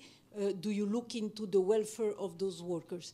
And I would say that uh, the answer is yes, because that is a standard obligation. I mean, any projects that the World Bank does ESMAP doesn't do project, okay? So the answer here is at the level of the World Bank because ESMAP provide resources to the World Bank that will do projects. So when the World Bank does project, it looks at the workers by definition. There is a, any project that takes place has to respect, uh, uh, uh, has a program where you have many aspects, and I'm not going to name all of them, but some of them include health and security system.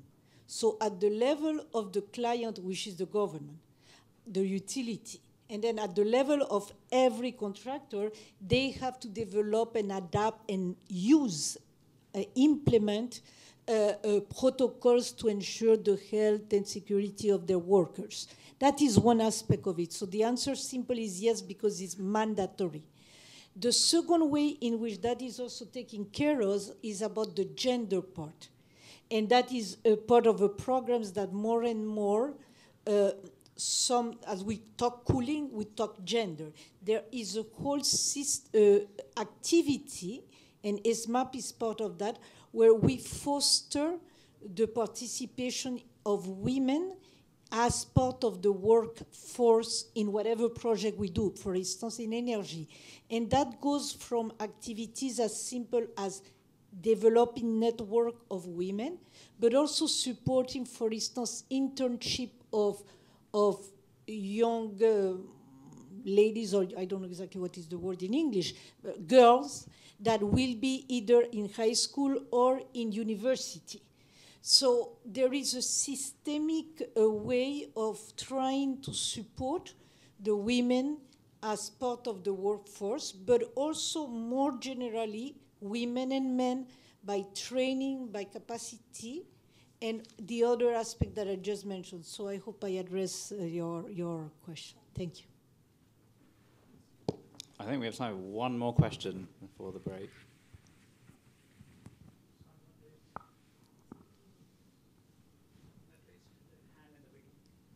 And then they put their hand down, or the answer was provided. Alex. I try to um, grow the ESCO market across 10 Asian countries. Um, in, that's one of the reasons why I formed the Asia Pacific ESCO Industry Alliance. And we try to embrace uh, cooling technologies, but much of the ESCO ESCOable, ESCO investable cooling technologies are often the larger central district cooling. And it's still, it's still early days as far as, um, number one, these smaller cooling technologies uh, are not yet uh, generally, uh, there's reluctance to cover smaller package split type VRFs. Um, in number two, there's even more reluctance and there's lacking in methodology to consider building envelope solutions such as cool roofs, right? Because there's there's no entity or no ESCO-like entity that could correlate your 11 degree drop in temperature with um, energy consumption. So one question, I'd just like to get comments from the panel, maybe one from uh, Cool Roofs Indonesia. Has there been any attempt to correlate it with ESCO uh, ESCOs in Indonesia so that energy performance contracting can use cool roof solutions. In, and maybe from the GIZ standpoint, have, S, have ESCOs try to embrace, let's say, bulk phase out of fixed speed air conditioning and put all either solar assisted and in, in the inverter type air conditioning as the Philippine government is trying to do, right? Uh, it has set mother policies, maybe the innovation council will play a role in that and then flow it down to all uh, public buildings. Uh, so uh, the, the connection of ESCO performance contracts with building envelopes such as cool roofs and smaller uh, air conditioning systems. It's a very small question to finish off uh, the panel.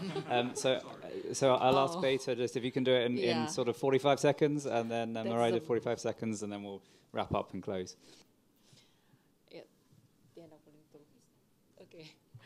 So it's a very, very interesting question. Also, uh, that's a big challenge in Indonesia as itself.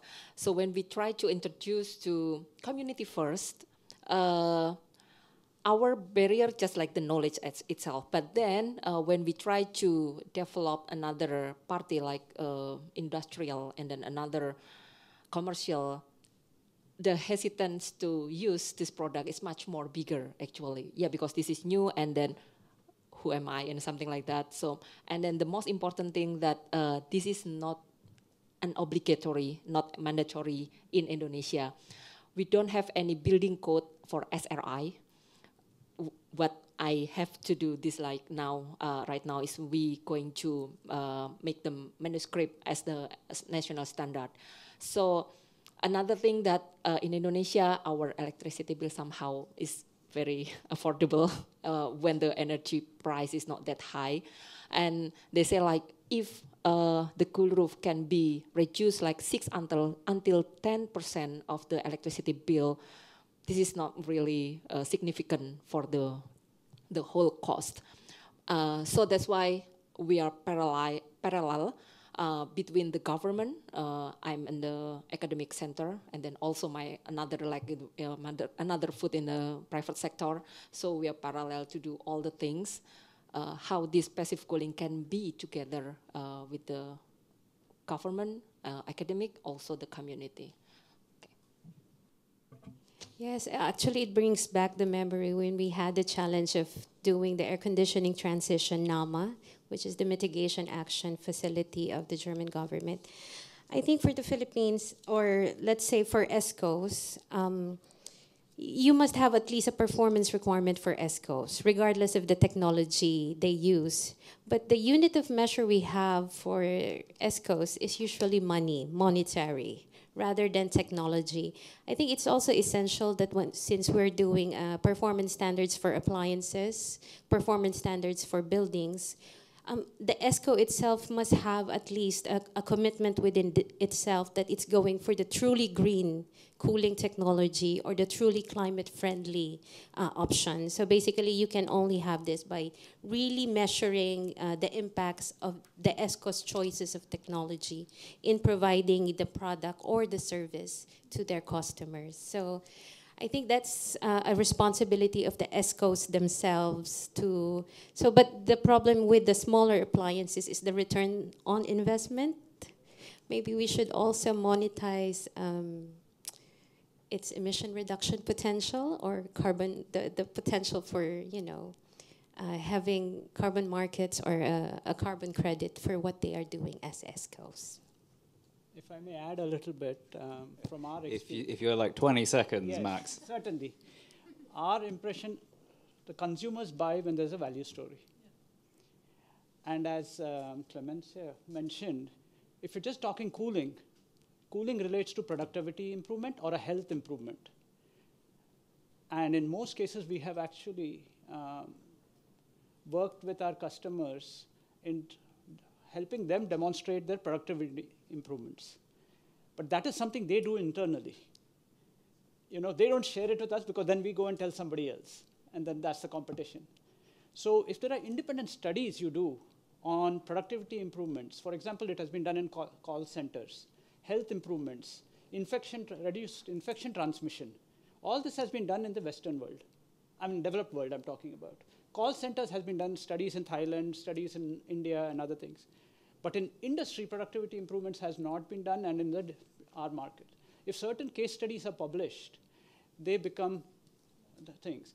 The money is not in the saving, it is in the productivity, in what we, our example is in the, product, is in the production improvement, which is not captured.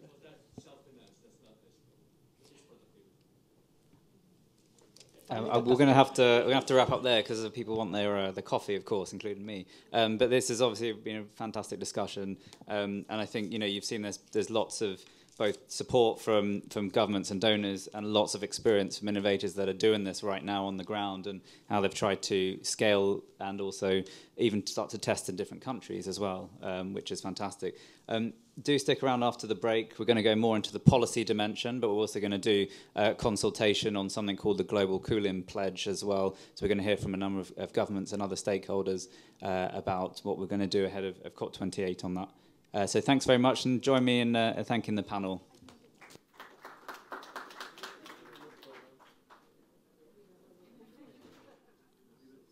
Okay.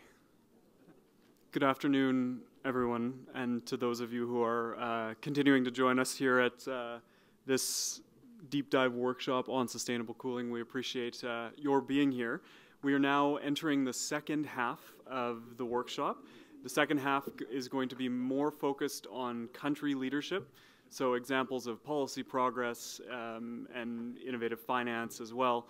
Um, that have supported leadership on sustainable cooling in the region. We're going to hear from a number of, uh, of country experts and officials from uh, countries in the region. Um, but before that, we're going to have uh, introductory remarks um, from uh, Mr. Mr. Liu from UNESCAP, followed by a presentation by Anna, Anna, um, uh, excuse me, Anna uh, Lobanova of UNESCAP, and then I will give a short presentation on the global cooling pledge and following that we'll have a we'll have a panel discussion so um, hopefully this will be an interesting session i'm personally i'm really looking forward to it i think we want to get some insight into how we can leverage the global cooling pledge for policy progress in the region based on what's what's sort of happened here already and the leadership that's been demonstrated in the region already. So, uh, but I won't go on. Um, and so, without further ado, I'd like to uh, I'd like to introduce Mr. Hongpeng Liu, who's the director of the Energy Division at the United Nations Economic and Social Commission for Asia and the Pacific, to give welcome remarks. Mr. Liu.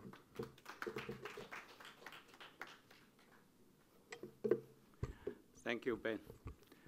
Uh, good afternoon, ladies and gentlemen. It's my great pleasure to uh, open this session, uh, the discussion on policy, uh, stocktake, and regional leadership and the global cooling pledge to discuss uh, uh, pressing issues in our warming world, sustainable cooling.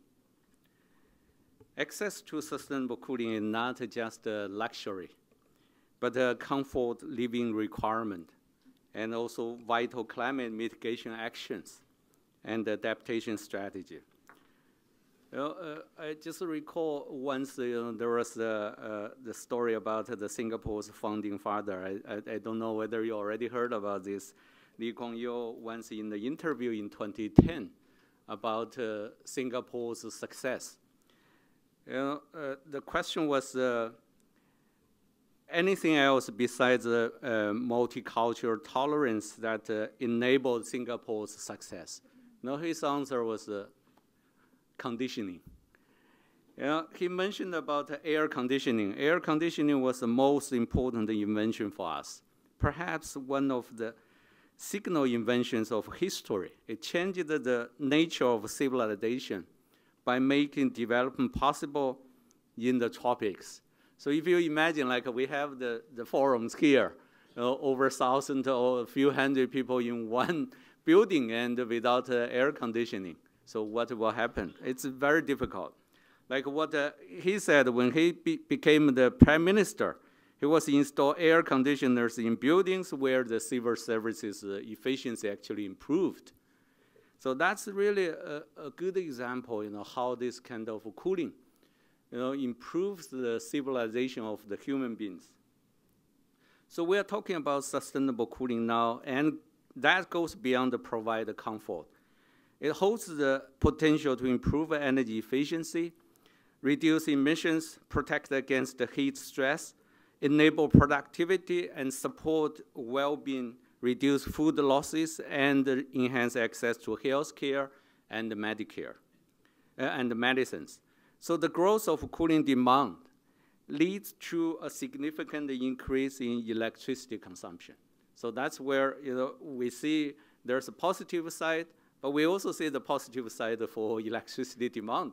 But at the same time, it also brings the, the increase of the uh, greenhouse gas emission because uh, uh, it's estimated that cooling accounts for about 50% of total electricity consumed in some cities, some countries in Asia Pacific region, especially in those. Uh, okay, especially in those uh, countries in the tropical uh, uh, uh climate. Despite the importance of the uh, issue, cooling has been often overlooked, overlooked in policies, planning, and regulations at a different level.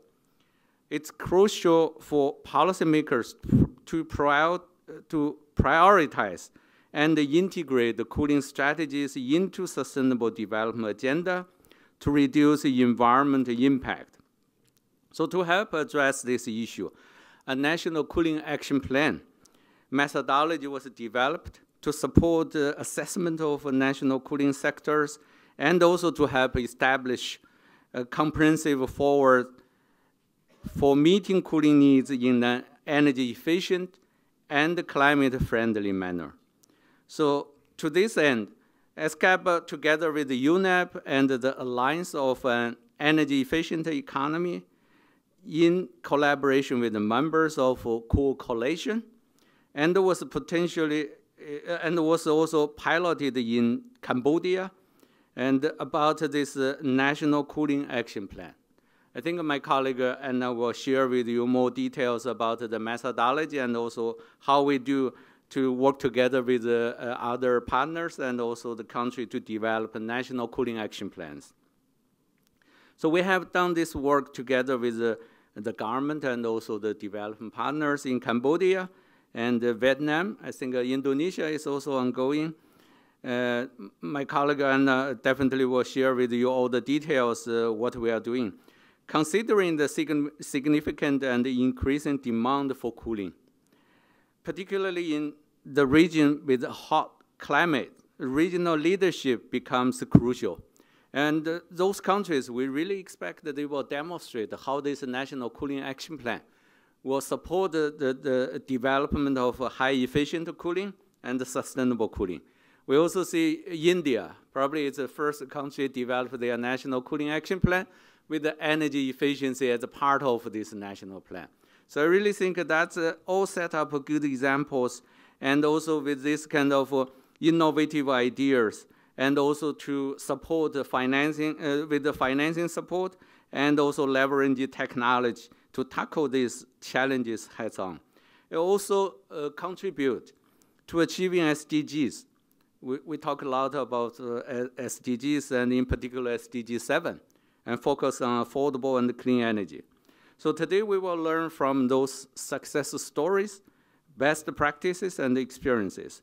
So before I conclude, I want to emphasize that significance of the global cooling pledge. I think uh, Ben will also share about this. Uh, this is an initiative which will be, I think, officially launched at COP28 by UAE uh, uh, COP20 presidency in collaboration with the uh, Cool Coalitions, SE4, and the IRENA. So it's vital for countries in the Asia-Pacific region to take active leadership in meeting this challenge. Being part of Cool Coalition, ESCAP will support member states in their commitment to sustainable cooling and also to join this uh, kind of uh, pledge for cooling. This session will give us a good opportunity to discuss it. I really think uh, the country good practices and uh, actions will be promoted through this kind of discussion. So I encourage all of the participants to actively engage in the discussion and uh, provide a share about your knowledge and views. So together we can accelerate, I think, sustainable cooling in this region through regional cooperation. Thank you very much. Thank you.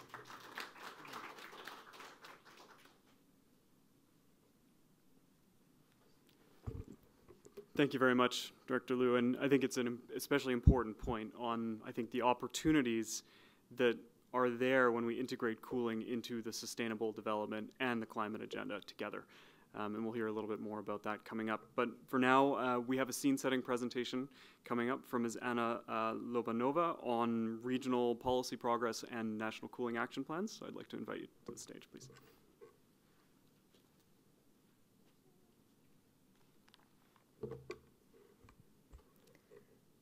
Hello and welcome everyone. It's uh, definitely my pleasure to be here. Thank you, Ben, for an introduction.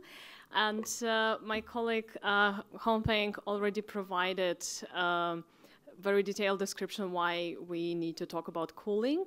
But uh, I think it's great that we have this conversation here in Manila because we just need to step out outside from the building and we immediately realize why we need to talk about cooling. Because it's not uh, only about numbers. Uh, like this year, there was announced that Southeast Asia experienced new all-time record for the temperature in May, in April. It was more like 40 plus degrees in Bangkok uh, where we are based. But it's never about numbers. It's about how it affects people. And uh, it affects productivity, it affects all the sectors across economy, uh, from agriculture to um, medicine, how it was uh, well described uh, during the previous session.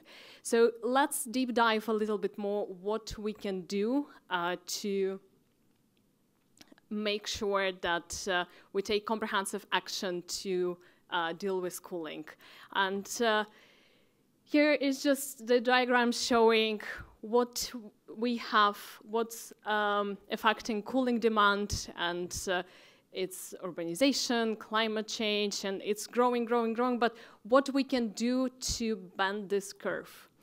And uh, in ESCAP, uh, how my colleague uh, already mentioned, we are working uh, together with uh, other organizations under the Uh, Coalition. We're working together with uh, UNEP and uh, some other organizations on developing National Cooling Action Plan. What's the specifics about this document? Because we all always hear about different targets, about uh, different um, commitments countries make. So with this uh, document, with methodology um, developed, the document tries to provide a comprehensive response to the targets, to how uh, the targets which governments make under the, um, their NDCs. Uh, also, it includes sustainable development goals and it includes uh, targets under uh, Kigali Amendment. And the key idea is to reduce um, cooling pressure on energy system, to lower energy demand, and to uh, unlock economic savings through the energy efficiency measures.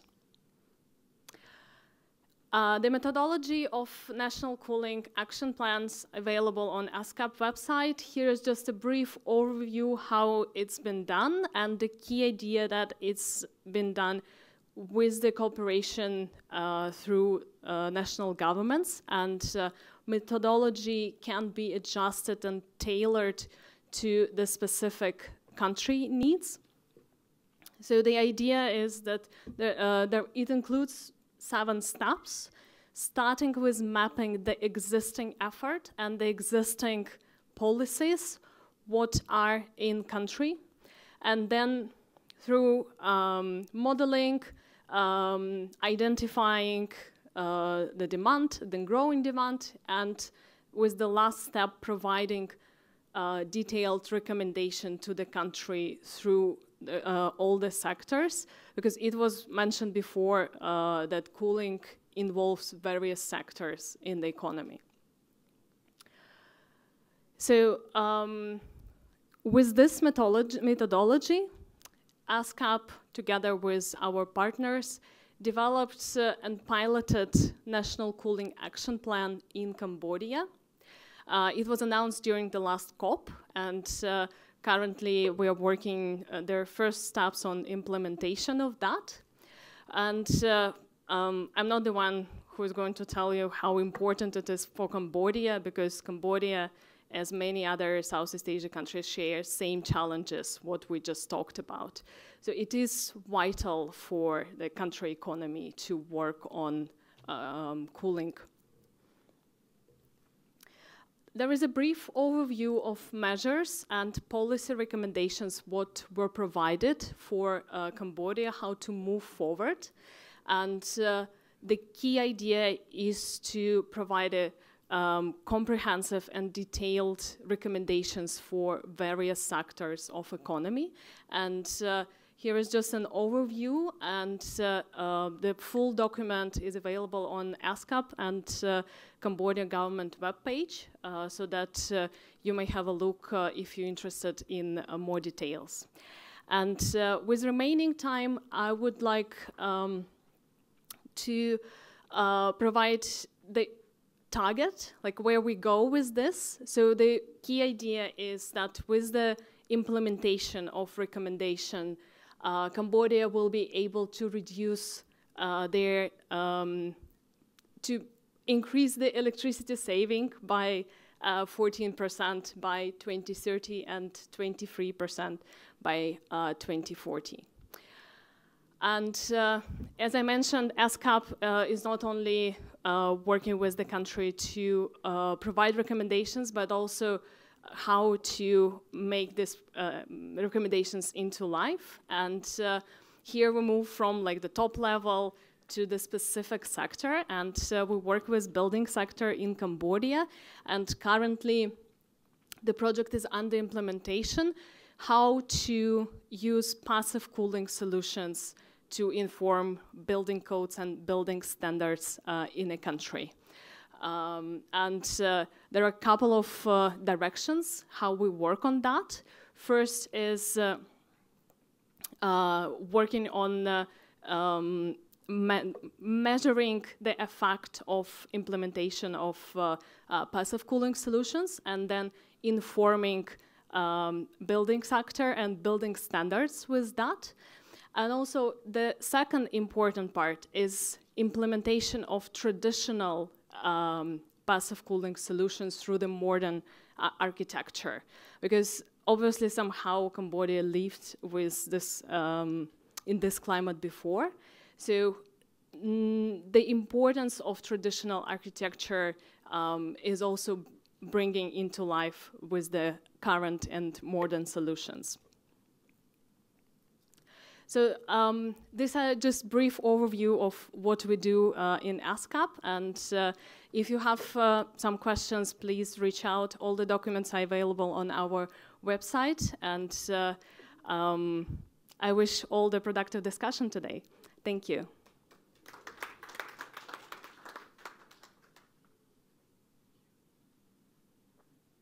Okay. Thank you very much. And I just, I, I want to uh, just emphasize, I think, how, um, how important the development of this model uh, NCAP methodology was and recognize the work of UNESCAP um, as well as AEEE and UNEP in developing it.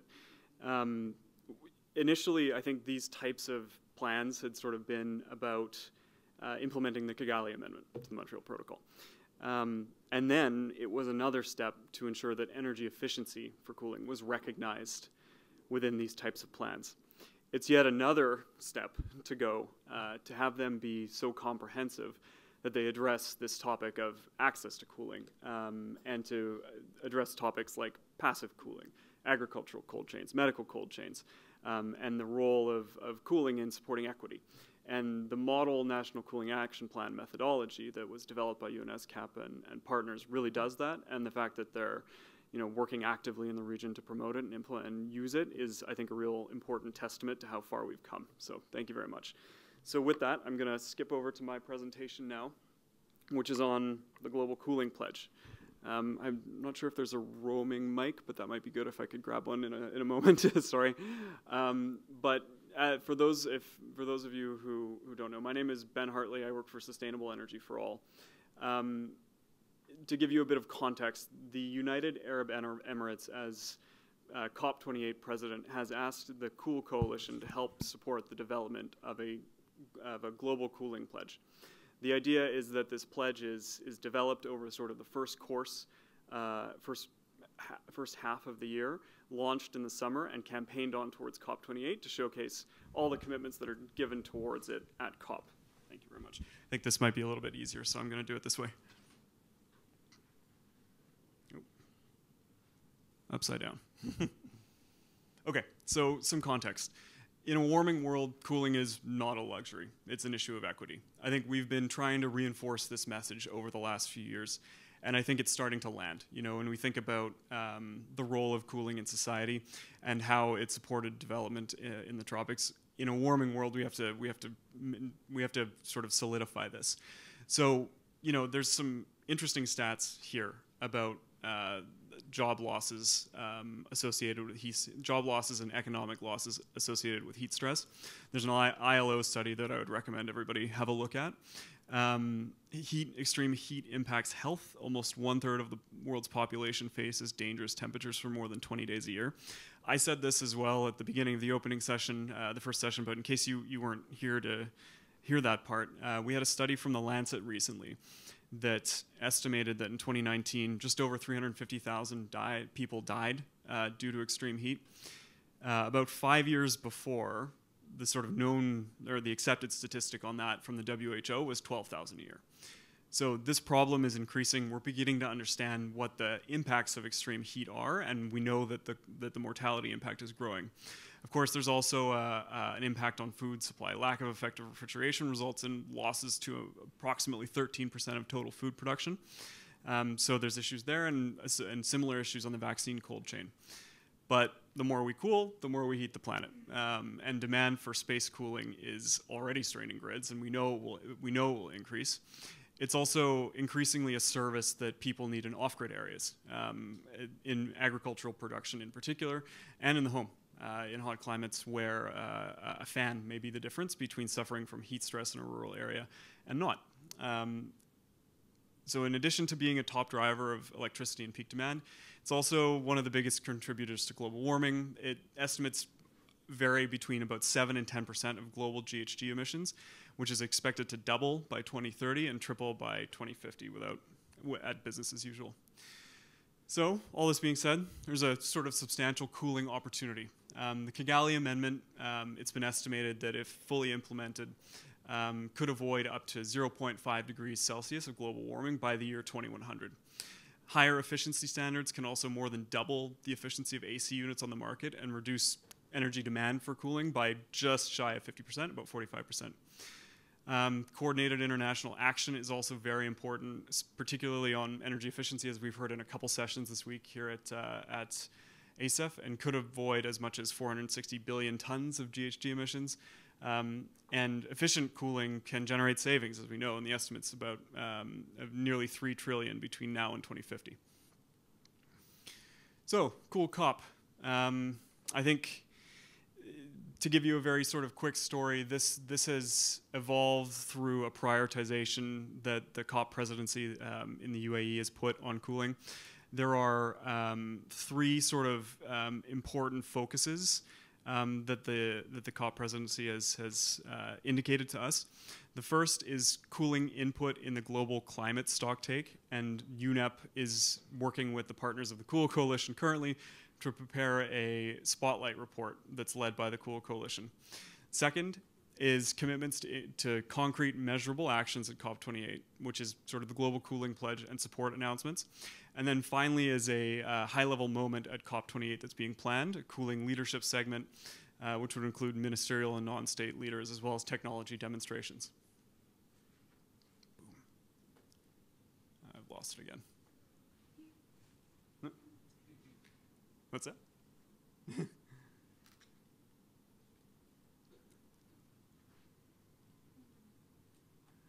are you able to flip it? Yeah. Yeah. Sorry, everyone. okay, so a little bit about the Cool Coalition. Um, there are a, a, wide variety of, of members of the Cool Coalition. It includes, uh, you know, as of last count, it was about 130 partners. Um, it includes governments, finance, uh, finance business development organizations, civil society, and part of the point of it is to just generate the collaboration that's necessary to sort of catalyze action on sustainable cooling. It has a number of working groups, uh, it covers a number of topics, and for those who, who may not know, it was born out of the 2019 Climate Action Summit led by the UN Secretary General, where it was chosen as a transformational initiative out of the energy transition track. Oh, we're back. Perfect. Um, global collaboration. So in January at Abu Dhabi Sustainability Week, uh, the UAE presidency announced the development of this global cooling pledge. Um, and I guess what we're describing is the cool COP menu of actions. The pledge has been drafted, drawing on the technical uh, capabilities of the members of the Cool Coalition, and is now a document that's sort of being consulted on to understand what works for governments and what doesn't, and how do we need to incorporate um, um, different types of entities into it. And you can see here a few sort of uh, testimonials from Cool Champions that we hope to. Uh, uh, get more of in the coming months to help us uh, galvanize um, efforts towards this pledge. So recently, um, cooling has been included in the COP28 official program as part of the Just Energy Transition slash Industry slash Trade Day on December 6th, with the specifier that the day will additionally have a specific focus on cooling as a critical mitigation and adaptation issue. Um, so yeah, I sort of gave you the um, gave you the the intro here, but I think the other bit to sort of fill in is that the way that the pledge is sort of set up now is that it's a series of, of over it's a preamble, a series of overarching commitments, and then it's asking committers to commit to two sort of implementation actions. And this is very important, I think, to the, the UAE as, as COP presidency to show that there are actionable things, quantifiable things, measurable things that are going to come out of this. Um, the idea at present is that this is launched at CEM, the CEM and G20 Energy Ministerial in Goa in July, and will be followed by a campaign to secure commitments up to COP28, like I mentioned. Here's a little bit of the schedule of events. There have been several events so far. Um, it started in uh, Abu Dhabi Sustainability Week. There was one in March uh, at the G20 CEM prep meeting. Um, again, it's been, we've been active in the G20 sort of energy ministerial process in, uh, in India. Um, there was a session um, at the 79th session of, of, as, of, the Commission of ESCAP. And of course, we're here now at uh, the Asia Clean Energy Forum. So to give you a sense of the timeline, again, the idea is that, that this is launched in July, um, with the high-level political forum being an important next moment. So I want to sort of take a few minutes here to talk about the pledge itself um, and give you sort of a sense of what is in it before we move to our panel discussion. So I'll, i think there's maybe five or six slides, but I'll try and go through them relatively efficiently. Um, the what the pledge is asking specifically, I guess, is that participants commit to a series of overarching things. So commit to work together to collectively increase access to sustainable cooling. Commit to work together to collectively increase the average efficiency rating of new air conditioner equipment. Uh, com commit to support ambitious measures and financial resources under the Montreal Protocol um, to raise ambition on MEPS and to establish building codes that, that are both energy efficient and use passive technology measures. Additionally, uh, there are clauses in here on committing to support the reduction of food loss and waste through sustainable cold chains, um, the development of a national cooling action plan, which is viewed as, as you've heard, as a very key sort of enabling policy piece that helps guide investment and further progress on sustainable cooling. Um, nature-based solutions for uh, urban environments also very important. Um, the benefits of, of a tree, uh, uh, nature in cities can really help reduce temperatures, and we've seen uh, evidence of this in, in Medellin, Colombia in particular. Um, some, you know, I've, I've heard the phrase, you know, a tree is nature's air conditioner, and we hope to promote that a little bit through the pledge as well. Um, public reporting and to, and to support international action. Um, I think this is sort of um, relatively straightforward as well. And if, if you're interested in a copy of, uh, in getting a copy of this, please just let me know after the session. The next component is the request to sort of, uh, for the participants of the, of the pledge to agree to additionally implement two of the, two or more of the following commitments. Uh, one is to complete uh, the ratification of the Kigali Amendment. Uh, another is uh, provision of financial resources under the Montreal Protocol uh, Multilateral Fund, the MLF, um, to integrate cooling into energy access planning. Um, this is something that, for, for SE for All's side, we see as a very sort of important, timely, and necessary intervention because uh, we see wide gaps on SDG 7 and electrification. And we know that those gaps could grow, at least in terms of household energy services, given the cooling needs, if cooling needs are not met sustainably within that. So that's another element, as well as the sort of productive potential of, of transitioning the agricultural sector uh, towards um, sustainable agricultural cold chains. Um, to invest in innovation and deployment of renewable, renewable energy-based cooling technologies and applications, um, the establishment of national resources to aid states and cities in their evaluation and support for a transition to sustainable cooling. And so the list sort of goes on. Um, there are a number of these different types of initiatives, and the idea is that there is enough sort of breadth here to allow for countries to easily make commitments to these types of things. It's also been sort of noted that one element that the, the pledge itself is very much targeted to national governments. The idea is that national governments make commitments. But as many of you will probably appreciate, um, cities are often on the leading edge as well of sustainable cooling. Um, interven- challenges and interventions. So there's consideration now of um, an opportunity for cities to become partners to this global cooling pledge through the following potential to um, two sort of uh, uh, commitment areas. So for subnational governments, be they cities or, or other subnationals, the idea is that they could commit to at least one of the following and be and and by doing this show that they're committing and supporting to the global cooling pledge. One is the adoption of a jurisdictional heat action plan. It's been shown that these save lives, um, early warning systems, good communication systems, um, and training um, for um, municipal officials as well as health practitioners in particular can be really, really um, important in a heat wave. and then to increase or enhance the proportion of nature-based solutions uh, within built-up surface area by 2030. So we're asking on the nature-based solutions piece, we're asking for federal governments or national governments to show cities that they're going to be supportive, and then we're asking cities to reciprocate that. So this is a bit of a brief overview. Um, I hope it's it's provided sufficient context, but I think now what we'd like to do is transition to uh, the next uh, the panel discussion, and where we can hear some examples of, of global cooling leadership. So with that, um, I think our, our panelists are, are out there, and I'd like to invite them to the to the stage at this point, so we can begin the panel discussion, please. And I'll introduce you as you come.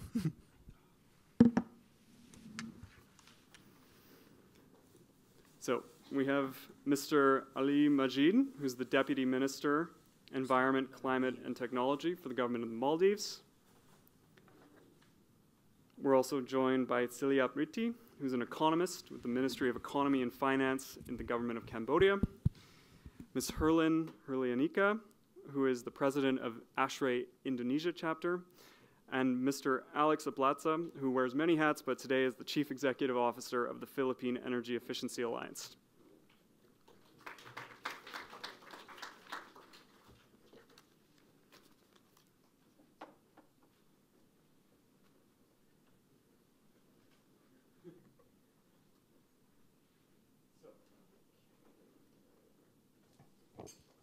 Great. Okay. Hopefully this is this is on. So, thank you again to our panelists for joining us. I think uh, it's it's going to be great to hear about your experience and your sort of uh, leadership that you've witnessed and seen and understand from the countries where you're coming from. And I don't want to sort of waste too much time, and I think I'll, I'll get right into it with the first question, which is for uh, Deputy Minister Majid um, of the Maldives. Could you you know, briefly describe the important steps the Maldives have taken in recent years to show leadership on sustainable cooling internationally and speak about why you think it might be important for other countries to do the same? Uh, thank you very much, Ben, for having us here and giving some uh, information about what we are doing on uh, championing on the uh, cooling. Uh, about the reducing the HCFC and the uh, challenges we face to global warming. Uh, Maldives has always been exemplary, fulfilling the obligation of Montreal Protocol. We are one of the first countries to phase out CFCs two years ahead of the schedule. Back in 2008. At the beginning of the past decades, we have phasing out HCFC was part of the carbon neutral policy. When this work started back in 2010, our plan was to become carbon neutral by 2020. And the idea was that we also phase out HCFC by 2020 our target initially was to reach this goal by uh, 2030, but we want to bring it a little bit more forward on this.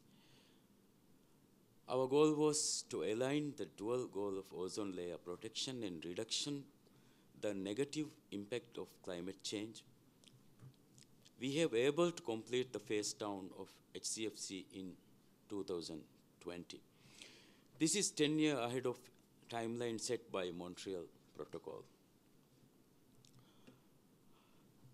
Under the Montreal Protocol as an Article 5 co country, Maldives is set the beginning of the phase down of HCFCs in 2024. Prepare for the phase down of HCFC, Maldives has different project with aid of UNEP and Kigali enabling activities has concluded while we are prepare, preparation for Kigali implementation plan is currently ongoing. Under the Kigali Enabling Activities Project, we developed a country assessment report to identify the gaps in the policy and legislative framework. Now the bill has been drafted and uh, approved by the Ministry of Environment. And also, currently we are being reviewed by follow the legislative process for the final approvals. We hope we would be address the legal gaps and implementation activities under the Montreal Protocol as of the current plan. The bill will be approved hopefully end of 2023. This will start the HCFC phase down. We are also we are currently working on preparation of Kigali implementation plan and under this project we are developing a strategic action plan for HCFC phase down. This will again enable us to identify and propose the required investment policy and technical assistance interventions for achieving the sustainable HCFC consumption reduction. Um, also, we are developing a certification and licensing program for refrigeration and air conditioning technicians. The program would also ensure that the technicians are trained and informed about the best practice and the latest technologies available for them to use in the industry. This would lead to reduction in leakage of refrigerant and better efficiency of equipment through the proper maintenance. Uh, also, we, we have um, introduced a program called Hakatari, which is uh, um, a local name, which is STAR labeling program. That is standard and labeling program was launched in uh, September 20, 2021. The program was initially launched as a voluntary program for two years and will become mandatory in 2024. This program would help consumers in choosing energy efficiency products and provide understanding on energy saving by selecting energy efficient products. With the success of implementation of this program by 2032, it will expect that this program will reduce energy consumption by we are expecting 16% with an overall greenhouse gas reduction of approximately 1.02 uh, million tons of CO2 equivalent. Also, additional generating capacity of 147 megawatts will avoided, which would save about 51.9 million USD from the government fuel budget. Additionally, this would also save 91 million liters of oil by 2032. Thank you. Yeah. Thank you very much. Yeah, and I think um, what I had, what I remember is that Maldives became the first developing country to quit HCFCs, and I think that's pretty remarkable and a testament to your um, your leadership on the subject. Um, before we move to the next question um, for uh, Cilia, uh, just one note from the technical team, just if we can speak close to the microphones uh, when we can, um, so that the, the recording can pick up the, the answers. So now I'll move to Cilia, who's with the government of Cambodia. Can you, uh, could you tell us, in your own view, why access to cooling, why access to sustainable cooling is important for the people of Cambodia, and why it was important for the government to draft a comprehensive national cooling action plan that we heard about um, in the earlier presentation. Thanks. Thanks, Ben. Thanks for the question. Um, and thank you for having me here today as well. Um, I'm happy to see that the Cambodia National Cooling Action Plan, or the NCAP as we like to call it, being recognized for a comprehensive example as a regional leadership. Um, before I answer your question, though, I would like to point out too that my view and what I'm about to answer is uh, the perspective of an economist, because I'm an economist. Um, I'm not an expert on the field, uh, so it does not reflect or represent the view of the government of Cambodia in any way. Um, yeah, so in Cambodia, because um, in Cambodia and as in um, most places, most countries in the world, heat is um, growing, extreme heat is growing, and as our cooling needs. And it, was important, I think it was important for the government of Cambodia uh, to develop the NCAP, to detail the measures uh, to supply cooling services in order to protect the people from, from the, oh, I think it's getting, from the extreme heat. And um, I think it's also a cross-cutting issue. It's not, it's not just about um, to protect the environment and to promote the climate resilience alone, but it's also to safeguard our power system. And at the same time, it also helps our economy grow and it also boosts the productivity of our business ecosystem as well. Um, in Cambodia, as the air conditioning needs uh, expanding, as so many places in the world as well, it is essential for, for the government to make um, efficient cooling solutions affordable for the people. And um, this will help ensure, of course, the sustainability of our, en of, of our energy system. Um, it can also unlock the econ economic savings and efficiency uh, for households and grow the economic uh, productivity as well. Um, also, at the same time, urbanization is growing and it's expanding rapidly in Cambodia, especially in the residential sector. Um, it's it's important that um, and it's it's all it's also being outlined in the NCAP too um, right, the passive design strategies to maintain uh, cooler buildings and, and urban spaces, as well as reducing the cooling related electricity consumption and emissions.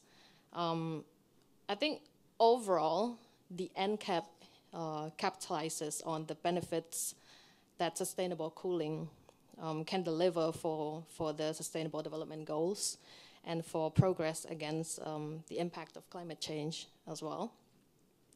Um, the NCAP is, for me, it's a, it's a realization of a commitment that Cambodia makes in our NDC, um, as well as our long-term strategy for carbon neutrality. Um, moreover, the NCAP provides a, a foundation for accelerating actions to achieve climate mitigation and the adaptation targets across various sectors.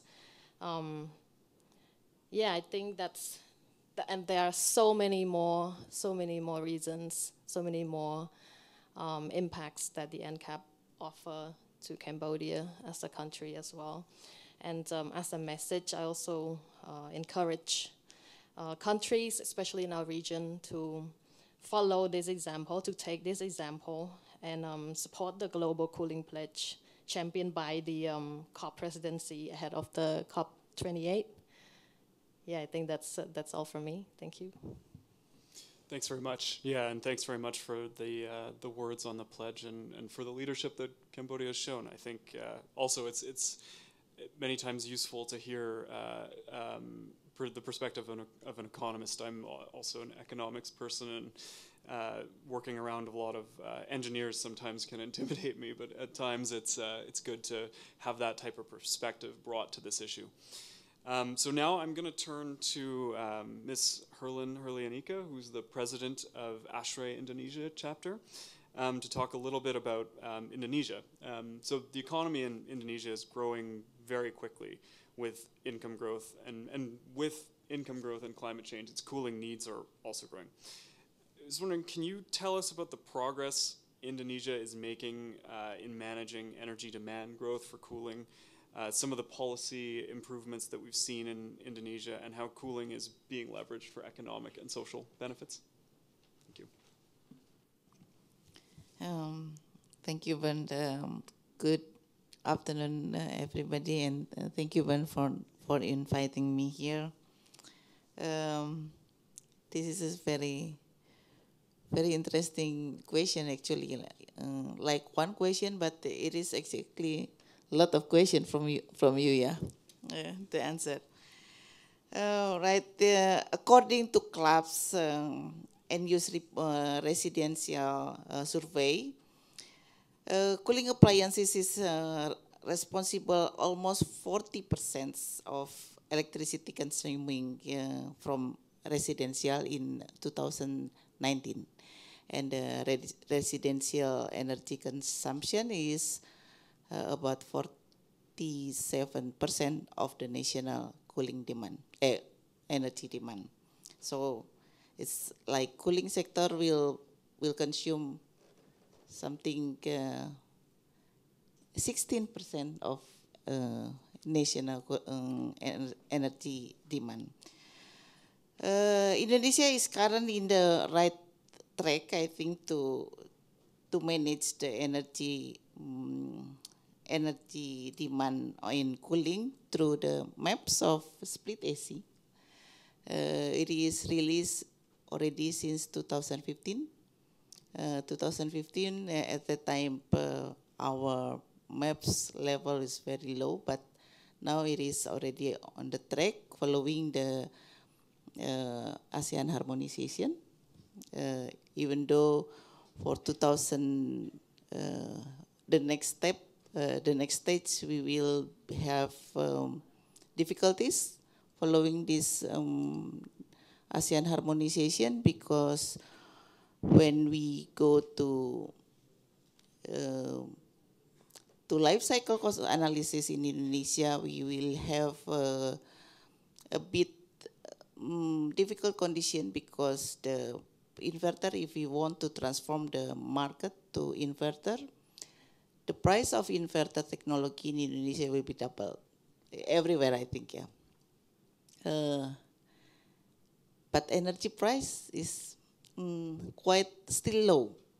So when we want to make approach on the saving cost in this uh, market transformation, it is not the right way to approach the market because uh, the life cycle cost analysis, we will get the payback period more than five years. So it is not uh, a good approach for, for the market. So uh, somehow um, Indonesia still try uh, seriously on the following this um, this leadership to follow the higher um, MEPS level. Yeah, we do the study uh, roadmap, the technology, how to how to support the produ uh, producers to get um, comprehensive um, comprehensive analysis about the about the uh, market price and etc. we also make um, platform uh, platform community platform that will um, advise uh, the government for the more stringent uh, energy minimum energy performance for split AC. Um, and uh, more than that, Indonesia now will be expand the uh, the MEPS to um, appliance uh, fan and refrigerator already already uh, regulate uh, since 2000 2020 21st 21 and then we will expand Indonesia will expand in the to the chillers and the beverage cooler in a certain capacity. Uh, but maybe for chillers, uh, we will not only go to the MEPS only, but also uh, we do, we develop the guideline for commissioning and retro commissioning because chiller needs to always um, consider the chiller plan, not only from the chiller side. Yeah, uh, so Indonesia government uh, already make a lot of effort on chiller side because we know that the, in the chiller uh, chiller will consume uh, more than 50% of uh, building energy uh, consumption. Uh, and in the in the building sector also Indonesia already um, regulate uh, make a policy that all the building has uh, has to have uh, energy um, energy manager energy manager and has to uh, make an audit and report it to the minister of energy every year and they have to show uh, their effort to to um, uh, to decrease the energy consumption. And uh, this effort also uh,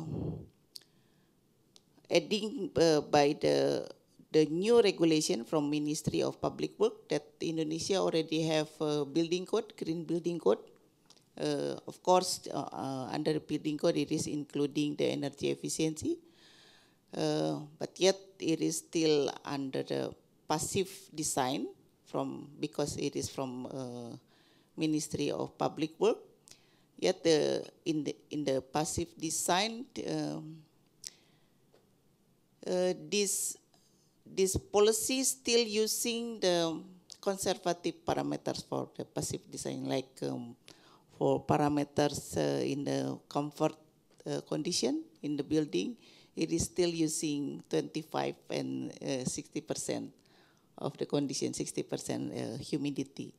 Uh, but some experts still uh, proposing to to change this parameter to be the variable parameter, so we can increase the um, the temperature um, following with the um, variable of uh, humidity in the energy uh, in the building code how to how to make a passive design on the building.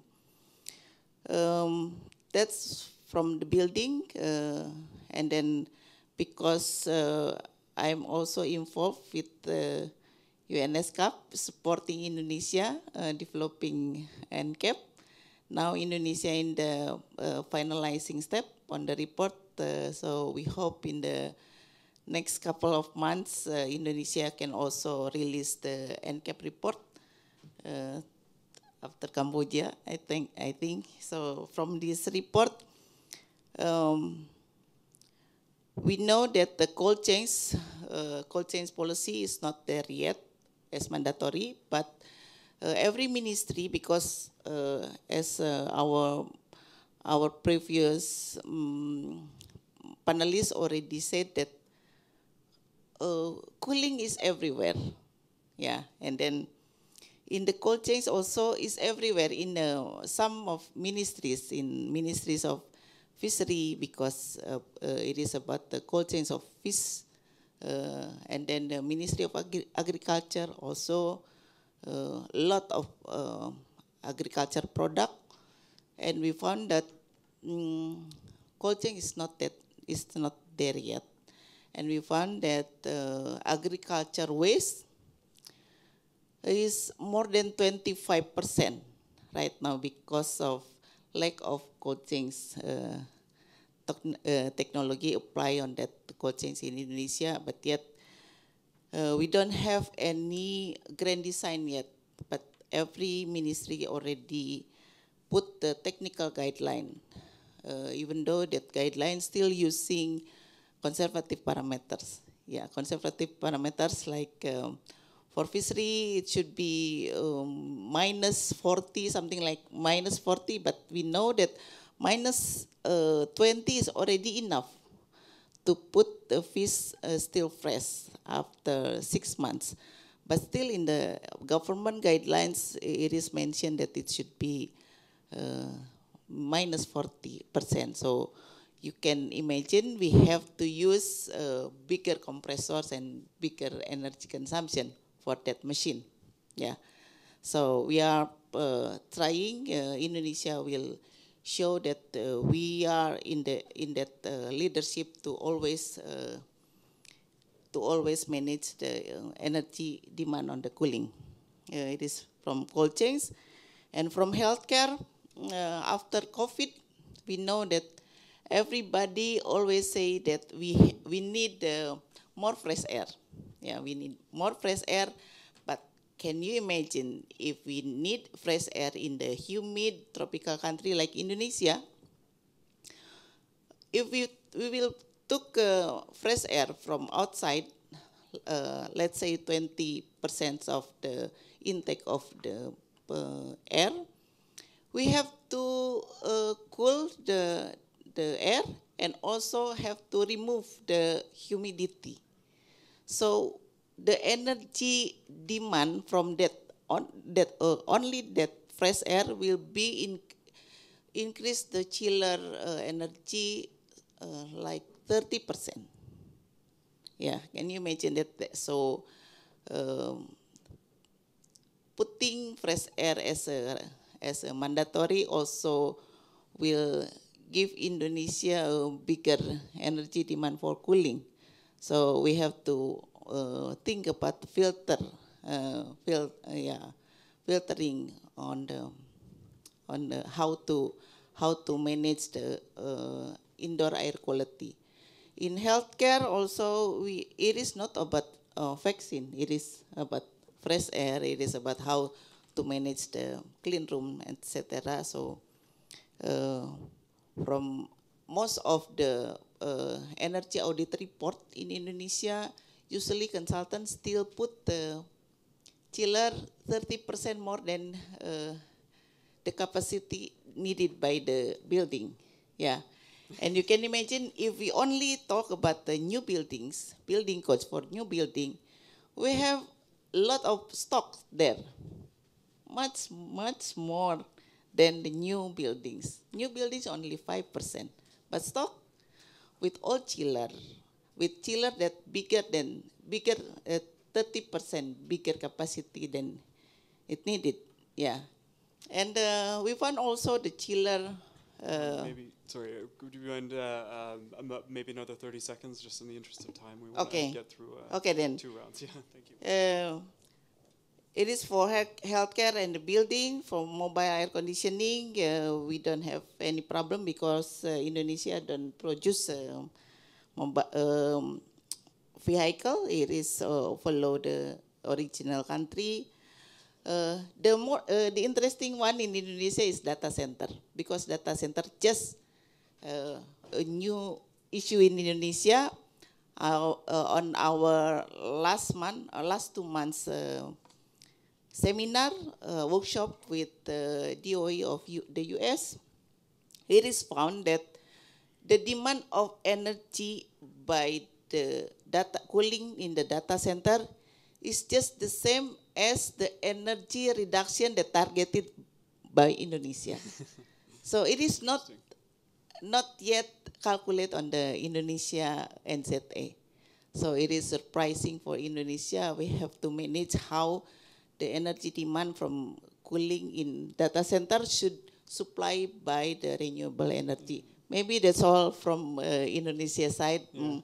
A lot more uh, we, we want to share, but uh, you can you can see from the Indonesia NCAP report uh, in the last couple of months. Yeah. Thanks yeah. so much. Yeah, and sorry to sorry to stop you. That sounds like a, it was a very very substantial review and uh, certainly looking forward to the possibility of the NCAP coming out from Indonesia this year. That would be great. And I should note also Kenya released an NCAP yesterday. So uh, for those of you who are followers of that the, of the region, uh, something to check out. Um, I do want to turn now to uh, Alex Ablaza um, uh, to give us a perspective from Philippines. He's the CEO of the Philippine Energy Efficiency Alliance. Um, Alex, wondering if you can share your views on how the current policy and market conditions in the Philippines align with the commitments proposed in the Global Cooling Pledge. Where do you think Philippines could make aligned commitments? Well, the cooling pledge commitments of the Philippines can potentially ride on very new energy efficiency legislation, which uh, my organization, PE2, pushed through a 29-year gap where we had no mandatory regime. So before that, we were one of the first in ASEAN to have an ENERCON law. Then it lapsed in 1990. Then the next 29 years, we were back to voluntary. But now we have mandatory. So what this new law says, it, it's comprehensive and inclusive. Comprehensive because it's got MEPS. It, it creates a very powerful interagency where nine cabinet ministers uh, make government-wide and remove silos in, in transforming the energy efficiency market.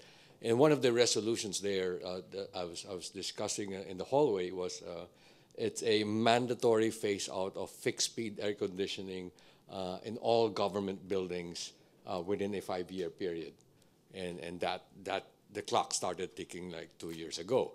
And, and so th- there are many pronouncements in, in, in that regard. And then it creates fiscal incentives. And also why it's so inclusive, not only does it strengthen the, the MEPS, the standards labeling, the ESCO, the certified energy managers, certified, certified energy auditors, it also brings down obligations to the small energy users. You know, in the rest of ASEAN, the energy efficiency obligations are still, the consumption threshold is still very high. In Singapore, it's 54 terajoules. In Indonesia, it's still 6,000 tons of oil equivalent, although there are plans to bring it down to 4,000, but that hasn't materialized. In the Philippines, it's down to 500,000 kilowatt hours a year in fuel and electricity. And if you want to imagine how, how that is, that's like a standalone quick service restaurant or that is a 2,500 square meter daytime office space. Uh, half that size, 1,200, if that's a 24-hour BPO facility, right?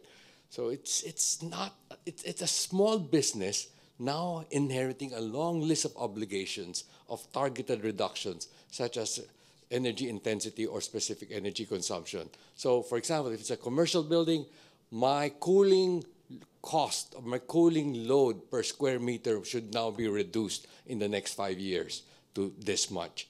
Uh, so it's, it's, it's really driving a lot of, uh, uh, generating a lot of demand for technology, solutions, services, innovative capital, uh, development resources uh, into the market because it's now very inclusive. Uh, you got small businesses and even very large households captured by that very low consumption threshold. So, and then for those under that 500,000, by the way, the Department of Energy in the Philippines is even thinking this year to bring it down further down to 100,000 to capture more of the, the, um, the, the, smaller energy users. It also, uh, it, uh, it, also so, it also dangles incentives and it also whacks a big stick you change behavior because there are penal provisions in the law. And under the renewable energy law, if I don't put up rooftop solar, I don't go to jail. But in the energy efficiency law, what people don't realize is that if I violate any of the conditions of the law, I face up to $2 million in fines to an individual or up to five years imprisonment. So there's, there's, they're whacking a big stick to change human behavior. Energy efficiency is about changing behavior and the rest will just have to connect like technology solutions services and capital right so it's it's if you want to transform a cooling market ride on very tough legislation such as the, the law that I just described. So that's that, that's the situation in the Philippines. It's, it's, it puts it in a much better position to, to make such commitments uh, if I were the government. Interesting, yeah. the, the the stick approach. I hadn't uh, sort of fully uh, grasped how big of a you know, big of a stick it might actually be. So that's very very interesting. Thank you so much for sharing. Um, we're going to move on to the second round of questions for our panelists now um, on sort of galvanizing support uh, for sustainable cooling as we move into the second half of this year. And I'd like to uh, start with Sudeap, if that's okay, um, from the government of Cambodia. What, uh, in your view, um, and this is a question sort of on investment and financing needs. So, what, in, in your view, what investment and financing would be beneficial in Cambodia to kickstart the implementation of the National Cooling Action Plan? What do you see as being needed? Hmm. That's a really good question. Thank you. Um, due to our time constraint, I'm just gonna try to keep this really quick. Sorry, let me clarify. Uh, we do, please, please go ahead. We do have uh, about 20 minutes. Oh, That's okay. Fine, yeah. Oh, that's good. I'll keep time. um, so as I noted previously as well, um, investment in sustainable cooling in Cambodia has the it has the potential to improve the economic productivity of key sectors in Cambodia, namely agriculture, um, fisheries, and tourism, etc. Um, but this will require substantial investment, and um, I think the first step that is outlined in the in the cooling plan too is to uh, create market enablers and financial delivery mechanisms. uh, this is a crucial first step, I think, to bringing in more investment. And um, anyway, but that also requires that uh, concessional finance and grants be made available to support the feasibility studies and also the, the first steps in developing the nascent market for energy efficiency, uh, energy efficient and climate friendly cooling as well. I say grants because uh, I have to be careful with what I say. Um, we prefer grants because uh, if you ask Cambodian people, I think most people would likely say the same thing that we don't really pollute the world enough to borrow money to clean up the environment. So um, actually, our pollution, our pollution rate is really low. So we tend to look for grants instead of uh, loans, if you may. Um, I think uh, we also that said we also need to work closely with the private sector as well because uh, um, we need to mobilize that capital uh, to innovate the cooling sector because uh, innovation in cooling is growing rapidly. Uh, so we need, we definitely need stronger collaboration uh, on financing, on business models that make efficient solution affordable for our people. Overall, I think uh, the message that we're trying to send with the NCAP is that Cambodia is ready to move forward on actions for cooling sector um, with a comprehensive framework, of course. And we welcome the opportunity to work with partners to facilitate investment as well. Thank you. Thanks very much. And I think you know the the point about grants is especially uh, important to, to note at a time when you know public balance sheets are fairly constrained as a result of the pandemic as well. But uh, you know we've heard a little bit on this on the, the topic of financing and, and how there in there is money available. We just have to figure out how to channel it to where it needs to go. Um, and for me, that's one of the central challenges, both with respect to implementing uh, you know a national cooling action plan, but to leveraging the the big dollars that we need for investments in this sector over the next few years. Um, so thank you for your answer. Really appreciate it.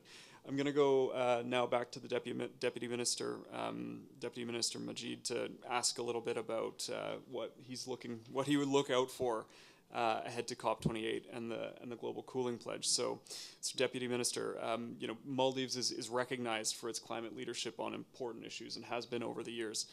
Uh, looking ahead to this COP and thinking about the global cooling pledge, what outcomes do you think would be most useful from the global cooling pledge to accelerate action and investment in sustainable cooling? Please. Uh, thank you, Ben.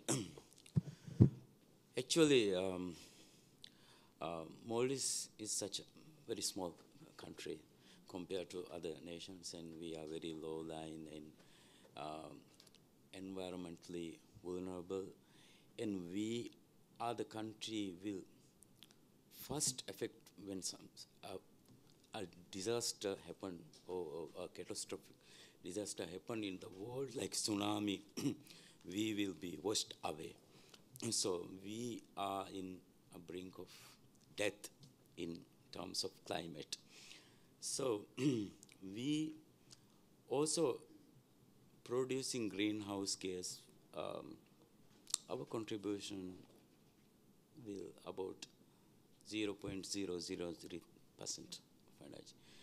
But uh, even though we are not um, producing th that much that um, greenhouse gas um, to um, environment and we are in separately very quietly um, living in like uh, 1100 islands in the South Asia but we have to raise our voice about the global warming because as I said as I mentioned, that we, we are very vulnerable to the climate changes.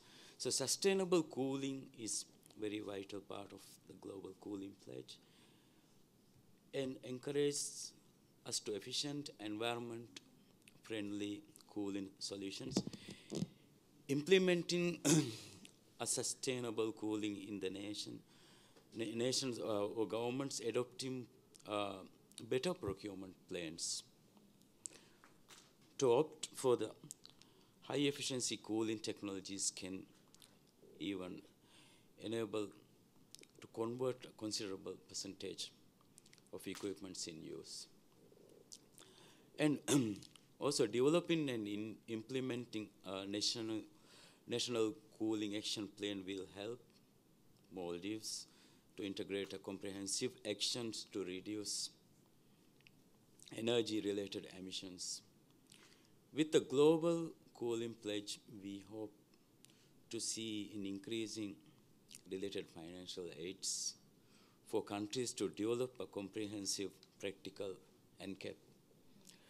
That is a very crucial for for the countries uh, uh, for, for, the countries such as Maldives, and also involving encouraging and private sector in supporting the global cooling emissions reduction and increase access access to the sustainable cooling is important in achieving the global cooling pledge targets. In the country, in, in the country assessment report done under the enabling activities for the Kigali amendments, it was found that 70% of RAC equipments used in the Maldives are air conditioners. For offices and households, cooling equipments. As it is expected the number will keep rising even in future due to the extreme high percentage of high rate of global warming.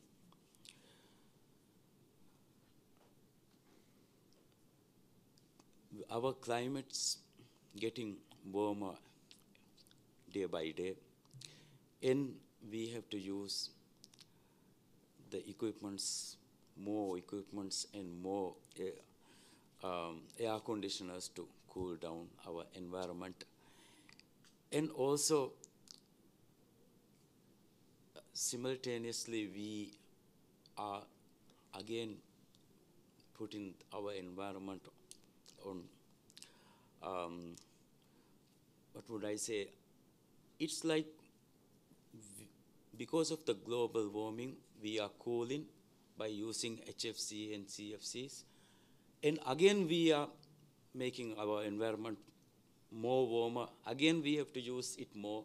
So it's like uh, something like a destructive cycle ongoing.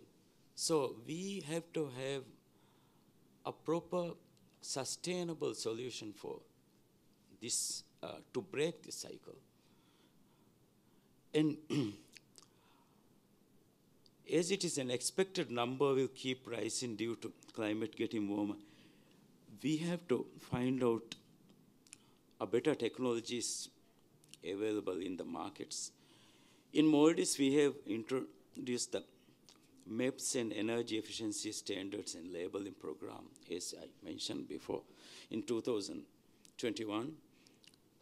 The program is, is in voluntary phase, even though the RAC equipment importers are already onboarded.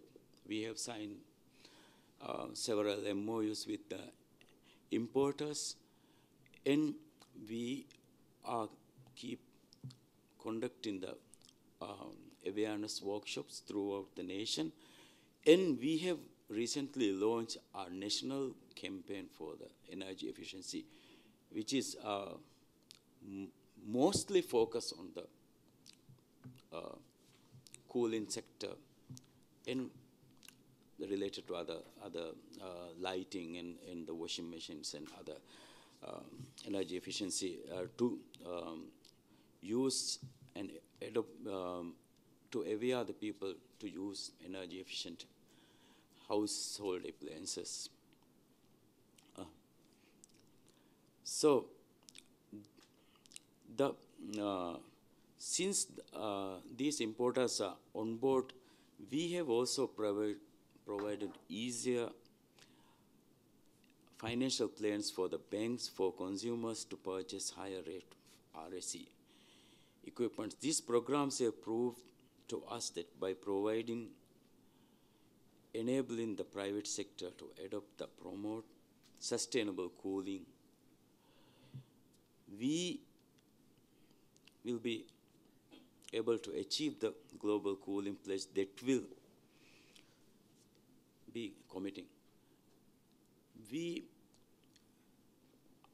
the government is uh, currently negotiating with some uh, banks to make uh, availability of uh, uh, installment basis plan for uh, purchasing energy efficient equipments for for the long term basis like 36 months 24 months. So which is uh, which we are planning that is uh, only for the energy efficient air conditioners and other equipments. That's all. Thank you Fantastic. Thank you for your uh, very much for your insights. I mean, a, a couple things. I mean, uh, I think financing. I, I, agree. I think seeing more finance flow through this process would be very useful, and I think that's why the MLF is is highlighted in the uh, in the global cooling pledge. Also, the role of the private sector, as you note. Um, it, we're not sort of explicitly discussing the role of the private sector here today, but certainly they have a role in ensuring that technologies that are best in class get to market and are um, affordable at point of purchase. And then on the the the the, the, the cycle, the, the degrading cycle. I mean, I think you're right, and I think our challenge is to turn that into a more virtuous circle where. Uh, sort of a systems level approach to sustainable cooling enables that uh, reduction in, in energy demand needed for it, but it also enables the health uh, and social benefits that come with it through livable neighborhoods, better air quality, and, and other benefits. But not to dwell on because we've got about 10 minutes left and I want to go back to our other uh, two panelists. I'll, I'll start with, with, with Alex uh, now, if that's okay. Um, cooling needs in the here in the in the Philippines and in the region are, are growing and may have may place significant challenges on energy systems in the future. You know, you've had a lot of experience in this. Can you can you give us some examples of innovative approaches to financing cooling uh, that can help improve energy efficiency and, and cooling and ultimately manage energy, energy demand growth. The, the world needs to mobilize $24.5 trillion in energy efficiency investments. And a, a, large portion of that, I believe, will be in cooling. Uh, the Philippines, in particular, will need to mobilize $243 billion through 2040. And uh, again, a huge portion of that will be in cooling technology solutions services. Two thirds of the 243, or roughly 160 billion dollars, will have to flow through innovative financial modalities, through new mechanisms. And uh, why the law, the new law that I spoke about, will enable this is, is uh, number one, it will allow uh, government procurement of ESCO performance contracts, which was very difficult uh, under the previous budgeting rules where all forms of savings, including energy savings, will have to revert back to Treasury. And the government cannot commit beyond the term of the current administration in each elective cycle. So there were so many barriers. And then second was to, um, to allow uh, PPP uh, transactions, public-private partnership transactions for large scale. So in other words, we, we're trying to mobilize private capital and know-how in public sector energy efficiency projects. And, and I, I, was involved in the design of the, one of Asia's first PPP for energy efficiency. This was in the state of Malacca in, in, in, in Malaysia. And we're trying to replicate that. Under the law in the Philippines, we're trying to replicate that. Still early days, but how to design a PPP structure for large-scale, let's say, public building cooling and lighting uh, re replacement uh, program. And, and the third would be large-scale government programs. You know, I, I was once part of uh, not only ADB, but uh, IFC, the World Bank. And I was trying to see how we could replicate. I designed for ADB uh, a lot of large-scale lighting replacement programs. So in India, in Pakistan, in Vietnam, in Nepal, in the Philippines, we did that with the Department of Energy. Um, and how do we how do we do this for larger, let's say, cooling appliances? Um, and you know, the World Bank at some point assisted Mexico in a refrigerator and window type air conditioner replacement program. So I said, hmm, maybe we can learn from the mistakes, but also learn from the strengths of the Mexico program and do large scale. You know what the world is not doing effectively? It's to finance forced obsolescence of older technologies. Forced obsolescence is still largely policy driven, but if you want to further accelerate it, collect it, uh, collect the old technologies and make sure that the end users have access to, to um, the, the, better, better refrigerants and, and more energy efficient uh, technologies. So it's, it's, uh, it's bulk procurement, uh, but it's also forced obsolescence. How to finance that. And that could be done through the PPP structure, that could be done through large-scale government retrofit programs, that could be done through uh, ESCO uh, performance contracts, which are now all enabled under the new law I described earlier. Uh, I also like to add that the Philippines is home to the world's first privately owned super ESCO, which is called the Climergy. And the second was in Canada. So it's, it's, it's, uh, it's exciting days for, for off-balance sheet uh, capital flows for, for energy efficiency and cooling I can finally hear take some credit for Canada. you don't hear Canada come up too often in cooling conversations, but that's good to know. Um, and yeah, thank you for, for that insight. I think that's that's a potentially big amount of money, so much appreciated. So I'll, I'll go now to Herlin uh, for the last question of the second of the second of the last round, um, and then we'll we'll close out the session. Uh, sort of similar similar tone here. You've you've have extensive experience working on cooling and energy efficiency policy in the region. Um, considering sort of the opportunity ahead, how do you think we can use the momentum gained by the UAE's championship of sustainable cooling and the pledge to accelerate policy progress in the in the Asia and the Pacific region? Uh, thank you. Uh, yeah, it is. It is very very interesting actually. If Indonesia uh, could uh, actively uh, follow this pledge. Yeah, uh, there is a representative from our government, Ministry of Energy. So let's let's support that pledge of Indonesia because we we have a lot of opportunity to to uh, have energy efficiency for from cooling sector. Yeah, like uh, I mentioned before, Indonesia has a big uh, a big emission reduction opportunity from from this cooling sector if you if you follow if we Indonesia follow this pledge uh, and we can get lot of uh, support for for investment. I, I mean for for ESCO uh, for ESCO scheme for a lot of uh, technology transfer and uh, capacity building. That will be that will be very good for Indonesia because we see that big opportunity in Indonesia. Big population, the big country in the tropical humid country, uh, we need to follow that pledge. Yeah, thank you. Maybe uh, that's all from, from my side, yeah, as a president of ASRE, because ASRE should al always advise uh, the community, the government for a sustainable technology. Perfect. Thank you so much. Very much appreciated. And thanks for your kind words and support of the, pledge as president of ASRE.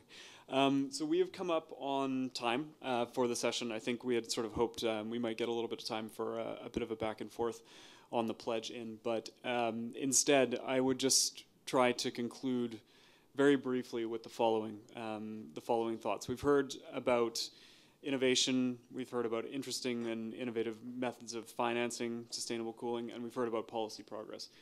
These are all sort of central components to this global cooling pledge. And through it, there should be, hopefully, opportunity for a wide variety of countries to make commitments to the pledge and to demonstrate new ambition on sustainable cooling. It's not um, every year that you will have uh, a COP presidency sort of back you on, on an issue.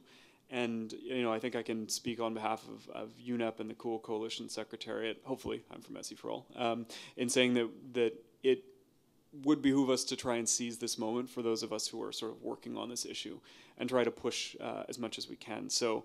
Uh, to the, the those of you working in government in the room, uh, I would just say, you know, please do consider uh, the pledge when it comes out in July, um, and you'll see other events such as these coming up over the over the summer and fall to sort of uh, um, socialize the pledge and understand uh, um, the goods and the bads about it. But you know, please do stay tuned. Um, your leadership and your commitment is what's going to make this work. Second, if you're supporting governments, uh, please you know advocate on its behalf as we get closer to COP. And third, I think think about how um, this pledge can be used to leverage more resources into sustainable cooling, at least on the public side. You know, we know that, that the private sector is, is going to be the bulk of the finance to, uh, to uh, um, address this issue. But there's a really important role for public finance, and I think we can help um, catalyze not necessarily more finance because we know where, where it is, but channel it towards the implementation of commitments through this pledge. So I would just end with that sort of light challenge. um, and with that, uh, can you please join me in a round of applause to thank our panelists for participating today? I'd also like to thank uh, the Asian Development Bank and the UK Department for uh, Energy Security and Net Zero, as well as the Cool Coalition for their support in organizing this session. And I hope it was insightful. Thank you to those who stuck with us for the afternoon. Thank you very much.